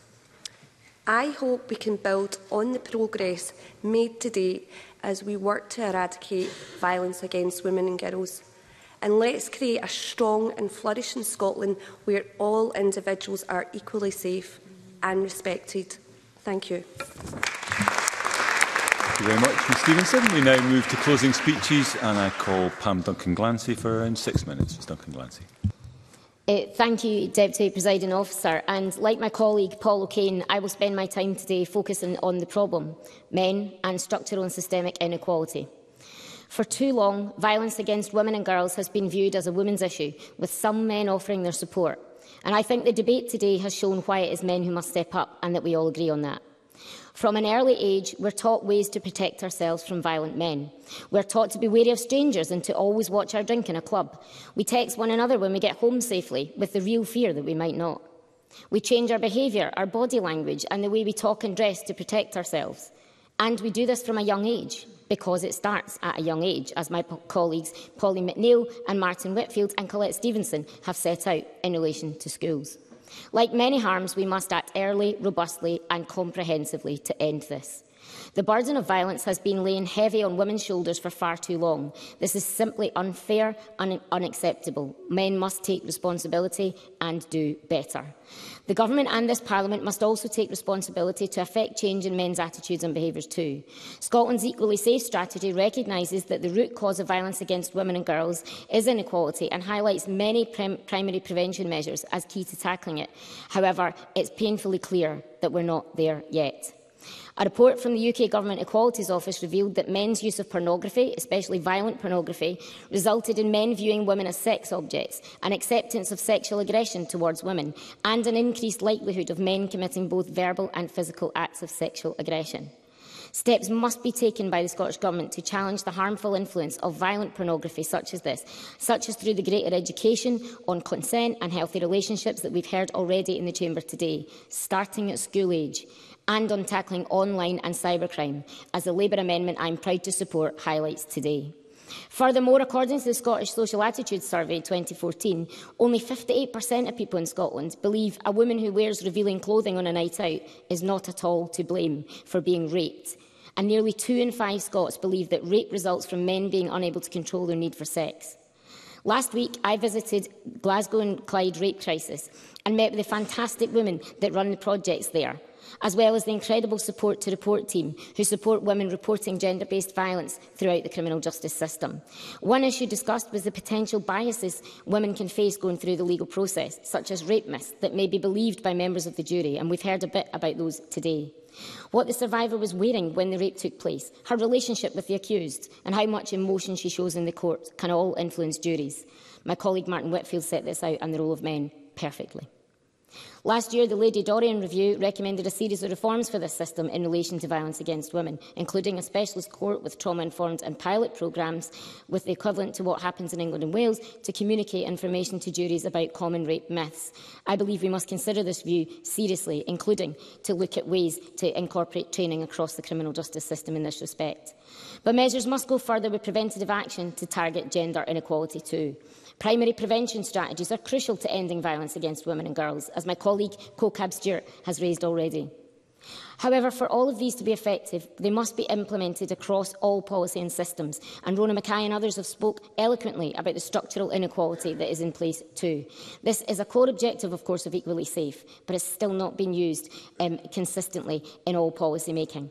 Despite domestic abuse, as the most common reason for women's homelessness. It still accounts for 26% incidentally of homeless applications and rising. Work from Crisis Scotland reveals that women experiencing domestic abuse are frequently let down by services but opportunities for early intervention have been overlooked and the Government's 2018 action plan on ending homelessness didn't include gendered analysis. Last year, the, government, the, Parliament unanimously passed the Domestic Abuse Act, which gives police and courts the power to remove abusers from the home and gives social landlords greater control to transfer tenancies. However, 18 months on, and we haven't enacted the legislation, and some women are still being forced to present as homeless to escape. A key driving... I will. Minister. And I thank Pam Duncan-Glasgow for bringing up the, the act that she just spoke about, but it's really, um, hopefully she'll be happy to hear that we now have an implementation group in place and we'll be working towards implementing that piece of the act. Pam duncan Glasgow. I, I thank the Minister for um, that intervention and I am pleased to hear that. Thank you. The, a key driving force behind continued gender inequality is poverty, and I was pleased to hear the Minister refer earlier to the importance of this in her opening remarks. Financial insecurity is a major risk factor for women experiencing gender-based violence, and research from organisations such as Engender show that women are at heightened risk of destitution. We need to see primary prevention approaches within social security too. The single household payment, and this has been mentioned in universal credit, reduces women's access to an independent income, making it hard for women to leave violent abusers. The Scottish Government have previously committed to providing individual payments of universal credit, but it hasn't yet been delivered. A failure to make good on this commitment will leave women at risk. The Working Group on Improving Housing Outcomes for Women and Children recommended in 2020 that the Government introduce a dedicated fund to support women leaving abusive partners, and two years later it's not yet in place. Women experiencing gender-based violence cannot afford to wait much longer for this. I spoke earlier about how the burden of men's violence is placed on women and the ways in which we change our behaviour to protect ourselves. A prime example, of course, is avoiding walking home alone or carrying keys, and we've heard this in the Chamber today, in our hands to protect ourselves from a potential attack. Radio Clyde's Light the Way campaign calls on Glasgow City Council to light parks at night so that we may not have to do this and to ensure safety by all. This campaign has already been underway for a year, but Glasgow's parks still are not lit and it is unlikely that lights will be added for an another at least two years. The Scottish Government really needs to help tell the SNP Council in Glasgow to get a grip of this issue and take action soon. Presiding officer, we will, on these benches, be voting for the Government and the Tory amendments today. And let me take a moment to say this. The Government motion, because, as Martin Whitfield has pointed out, men have much work to do. And the Tory amendment, because we do note that the UN Rapporteur has written to the Government. We also note the letter from women's organisations, which I can confirm was published on Amnesty International's website this afternoon, including in Gender, Just Right Scotland, the Scottish Women's Rights Centre, Scottish Women's Aid, Amnesty International Scotland and Rape Crisis Scotland. The fight for equality and human rights for all, women and trans people included, is interconnected and interdependent on dismantling the structural inequality and discrimination for everyone. That should be our focus. We cannot and should not pick our equalities. Presiding officer, in conclusion, the behaviours and attitudes of men must change, but so too must the entire patriarchal system. We must all in this chamber be laser focused on that the bold, preventative, urgent and long-lasting measures that cut across all policy areas to eradicate gender inequality once and for all in all we do. Thank you. Thank you, Duncan Glancy. I now call Russell Finlay for up to seven minutes. Mr Finlay. Thank you, Presiding Officer. Um, I begin by agreeing with the Scottish Government motion, but also Pam Gossel's amendment, and I'm glad to hear that Labour also support that. Reem al-Salam is not merely, to quote the First Minister, the person from the UN. She's the Special Rapporteur on Violence Against Women and Girls, and when she calls on the SNP government to listen, Nicola Sturgeon should really do so. Women across Scotland have been frustrated and sometimes furious at the SNP government's refusal to hear their concerns, as Rachel Hamilton points out. Uh, but given that today's debate is really about what unites us than divides us, I see no reason why colleagues would not support Pam Gossel's important amendment. Uh, Presiding Officer, pa uh, Brian Whittle's contribution was typically thoughtful. Where Scotland's business world has changed radically, some strangely old-fashioned views linger. Pauline McNeill makes some very important points about the dangerous rise in cybercrime. Beatrice Wishart spoke of the everyday casual leering and sexual comments directed at women. Um, and Presiding Officer, we can all agree with the aims of this year's 16 Days of Activism Against Gender-Based Violence. As Rona Mackay, Martin Whitfield and Paul O'Kane said, men do bear responsibility for their personal but also collective behaviour. Uh, Christine McKelvey and Kokab Stewart and others cite Police Scotland's That Guy campaign. Now, no one here can disagree with its sentiment, but some might question Scottish policing's own record of misogyny, sexism and gender-based violence. Take Inspector Adam Carruthers, who used his status to commit sex attacks, even raping a crime victim in her own home. Investigations by some of his colleagues came to nothing, nothing to see here. Apparently, when he was finally brought to justice, it emerged that he had targeted dozens of women during his 20-year career. Then there's Sergeant Kevin Story, who was jailed in 2014 for rapes and sexual assaults. His reign of terror somehow also spanned two decades. Nothing to see here. Then there's Inspector Keith Farquharson, who was convicted of breach of the peace by sending a sleazy message to a young female colleague. He was demoted to constable and then quietly reinstated to high rank. Again, nothing to see here. Farquharson is now serving a life sentence for the murder of his wife. Presiding officer, it can be tempting to trot out the one bad apple cliche, but bad apples are too often too often get away with their crimes because they are protected, protected by a system that always seems to prioritise protecting the organisation, no matter the price. Some also say these obscene cases could never happen today, but they can and they do. Last week, I joined a group of women in meeting with the Cabinet Secretary for Justice, for which I am grateful to him. They were former police officers Karen Harper, Jim McRae and another who cannot be named. Karen served proudly for 22 years until being bullied out of her job. It is scandalous that she is still trapped in process purgatory after seven costly and damaging years.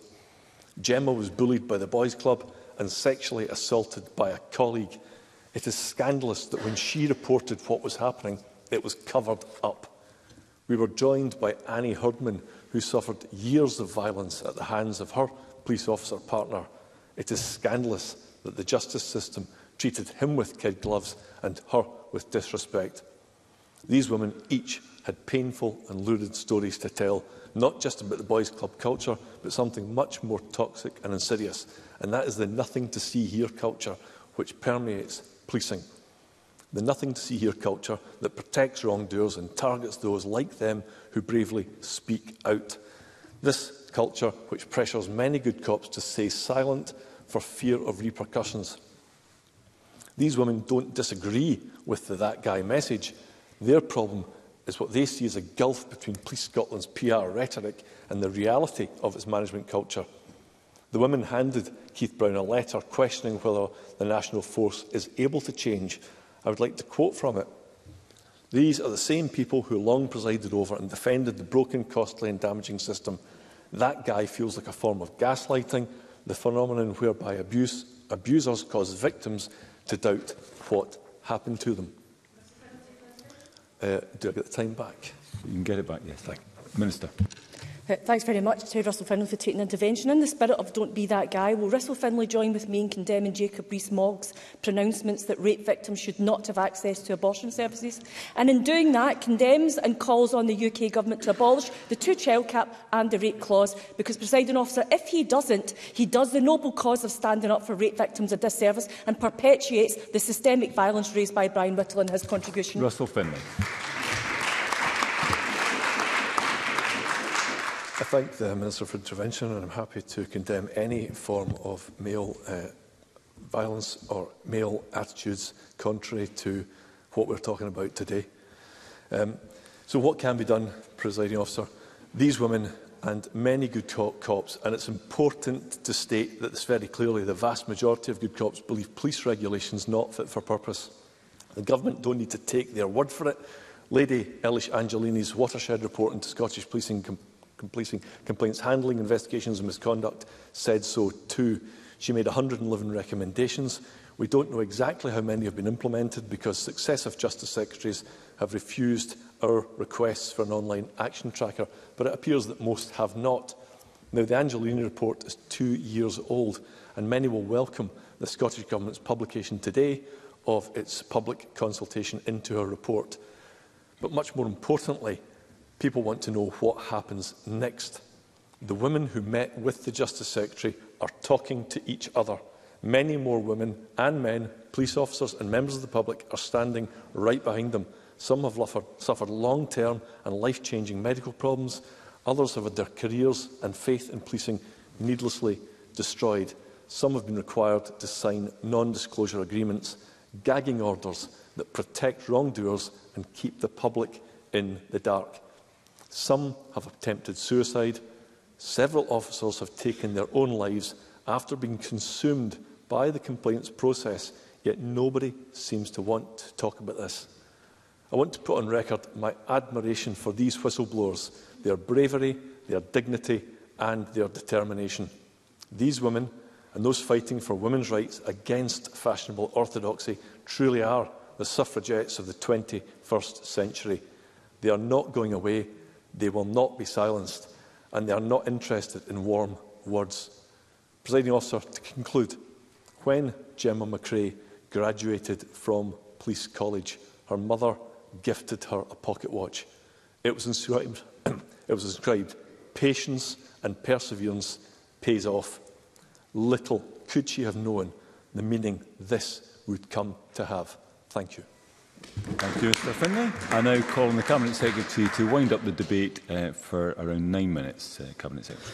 Uh, thank you, Presiding Officer. Uh, I should say that even if it is the case that we don't manage to achieve what we sought, which was a singular focus on the behaviour of men and the need for men to change, and to tap into the consensus of violence against women and girls motions elsewhere, um, I think it has been, nevertheless, generally a, a good debate. During last year's Violence Against Women and Girls debate, at the same time I spoke about a different pandemic affecting our society, a shadow pandemic of men's violence, an analogy which I think Paul Kane also used. Uh, much like COVID-19, it is extremely stubborn. It's a very difficult culture with wide-ranging societal impacts. Uh, As Martin Whitfield said, well, this is about men and the need for men to change. A very powerful uh, speech from Martin Whitfield. Unlike COVID-19, the cause of violence against women and girls is clear. It's men who predominantly carry out such violence and its negative male attitudes and behaviours which perpetuate it. And for that reason, men must lead in eradicating this from our lives. And men have to acknowledge the role that we play, uh, as was mentioned by the Minister, Christina McKelvey, and have the courage to speak up when we see negative attitudes and behaviours, which ultimately lead to violence and abuse of women. Uh, many members have mentioned Police Scotland's That Guy campaign, and one uh, is one that we should pay close attention to. As to the, I think it was re uh, the issue of how we analyse and review the effectiveness of that campaign. It's still in its early months, but I think it is a campaign that we'd repay uh, working at how effective it's been in changing culture. We have to do everything that we can within our power to contribute to and accelerate the societal and attitudinal shift required to make women and girls safer. So just before uh, coming on to uh, close the debate, I would mention some of the, for me, the highlights. I can't mention every member. I think uh, Beatrice Wishart uh, mentioned some horrendous examples in her experience.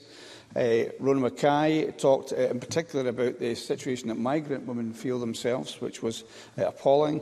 Brian Whittle, I have to say, said a lot of things which I didn't agree with, but he did also mention the structural and economic inequality and the impacts that that can have uh, in terms of misogyny and the fact that it derives from misogyny, misogynistic attitudes in the first place. Uh, Bill Kidd talked about sex trafficking and commercial exploitation of sex. Uh, sex.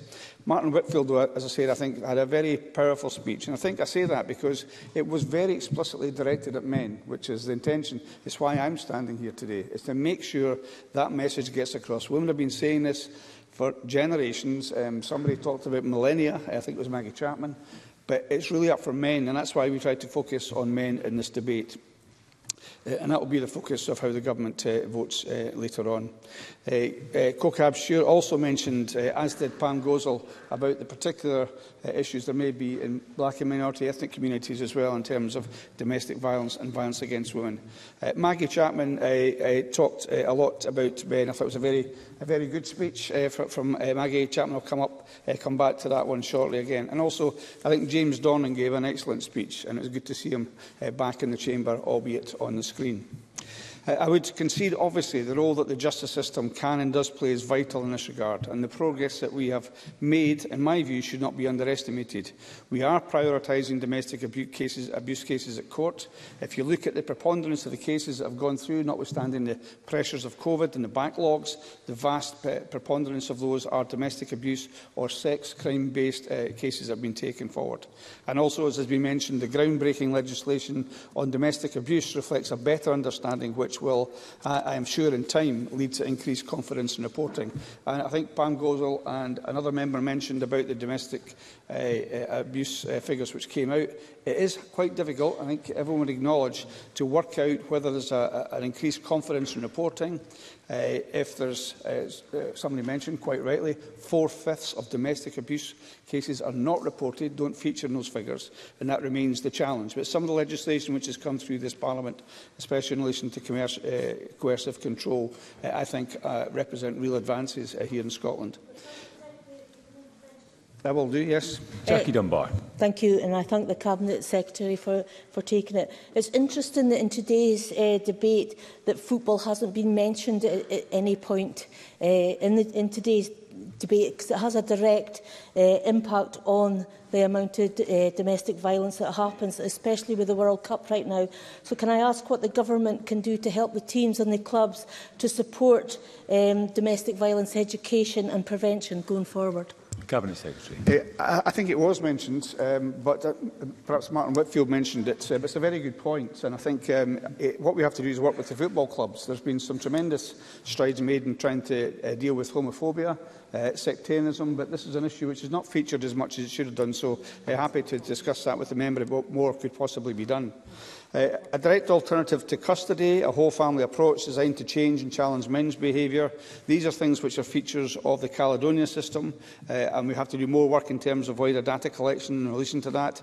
However, it's also imperative that we do more to ensure that women don't come into contact with the system in the first place.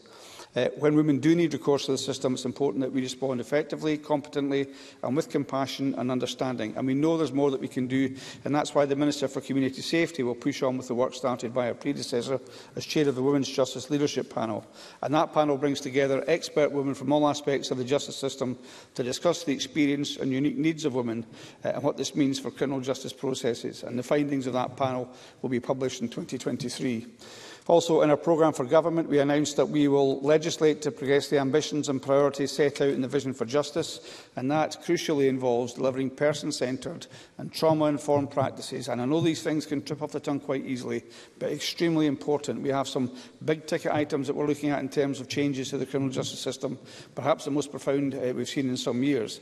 But if we can achieve a trauma-informed, person-centred justice system, that will be the biggest possible change we could make, not least in relation to the subject matter that we're currently discussing. And uh, Russell Finlay rightly commended the women that we met uh, last week. I would also want to commend the women I met yesterday, Speak Out Survivors, who are trying to affect changes uh, in, in the system. And as was mentioned in terms of patients, they've been doing this for many years, and I admire their tenacity, and I'm happy to listen to them and to speak to them again. The Criminal Justice Reform Bill will abolish the not proven verdict in criminal trials in Scotland and take forward accompanying reforms. It will also make legislative changes building on the recommendations of Lady Dorian's review on improving the management of sexual offence cases, including, among a range of proposals, statutory anonymity for complainers of sexual crimes. E, earlier this year, Baroness Kennedy published her report on misogyny and the criminal law, and that report made four specific recommendations to reform the criminal law to better address misogynistic harassment. They were a statutory sentencing aggravation of misogyny, an offence of stirring up hatred against women and girls, an offence of public misogynistic harassment, an offence of threatening or invoking the rape, sexual assault or disfigurement of women and girls. In setting the Government's legislative programme for 22-23 in September, the First Minister confirmed that we will consult on draft legislative provisions to give effect to these reforms proposed by Baroness uh, Kennedy. I think that's part of what was called for by Paul McNeill in terms of a radical strategy. Uh, that will be not just radical, it will be a world first if we can manage to get through the reforms that we seek to try and bring into, uh, into the law. Uh, these are reforms that society needs and we are determined to deliver. And listening again to the contributions today, there is some consensus uh, that we must strive and work together to end violence against women and girls. There is consensus that men must take responsibility for their actions and demonstrate a commitment to change. There is no overnight fix. The point about this is really the culmination of millennia of discrimination uh, tells us this will be a difficult uh, uh, issue to resolve. But we have to be resolute and challenge violence against women and girls and the underlying inequality wherever it's found. And the message really is for the men uh, in this chamber and those listening elsewhere. We have a responsibility to change uh, and, happy, uh, and we have a responsibility to help others change as well. For my part, I'm happy right now to take an intervention from, and only from, sorry to be discriminatory, any man in the chamber who has never heard misogynistic or sexist comments in an all-male environment or any man who has heard such comments and has always challenged it every time. Now, I happen to be standing, but I wouldn't be standing because I've not done those things, and most men have not done those things, and perhaps why there's no uh, intervention, and that underlines the nature of the task that we now face. And if we are serious about our vision of a society which is safer and more equal for women and girls, we have to do more. A Scotland where women and men enjoy greater equality is a better Scotland for us all. And Maggie Chapman mentioned the fact what women are not looking for is some knight with a sword going ahead of women, uh, wreaking uh, vengeance on men that behave badly or being protectors of women. What Maggie Chapman asked for, and she's right, is that men and women walk together on this journey. So I would invite this Parliament to restate our collective ambitions uh, in this area, and I would invite all the men to make sure that they are not that guy. Thank you. Thank you very much, uh, Cabinet Secretary. That concludes the debate on recognising the vital role men must play in challenging and eradicating violence against women and girls. It's now uh, time to move on to the next item of business. Uh, the next item of business is consideration of Business Motion 7018 in the name of George Adam on behalf of the Parliamentary Bureau setting out a business programme and I call on George Adam to move the motion. Thank you, President Officer, and moved. Thank you. Uh, no member is asked to speak against the motion. The question is that motion 7018 be agreed. Are we all agreed?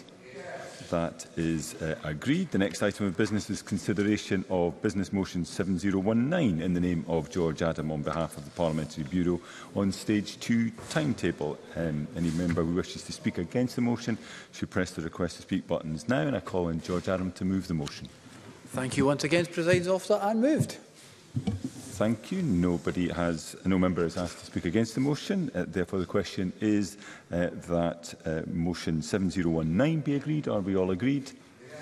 That is uh, therefore agreed. Uh, the next item of business is consideration of Parliamentary Bureau Motion 7020 uh, on designation of lead committee. Um, I ask George Adam on behalf of the Parliamentary Bureau to move the motion. Moved, Presiding Officer. Thank you. The question on this motion will uh, be put at decision time, to which conveniently we now come. There are four questions to be put uh, as a result of today's business. Uh, the first question is that Amendment 7002.2 in the name of Pam Gosell, which seeks to amend Motion 7002 in the name of Christina McKelvey on recognising the vital role men must play in challenging and eradicating violence against women and girls, be agreed. Are we all agreed? we are not agreed. So Parliament is not agreed. Therefore, uh, we will move to a vote. There will be a brief um, pause while members access the digital uh, voting system.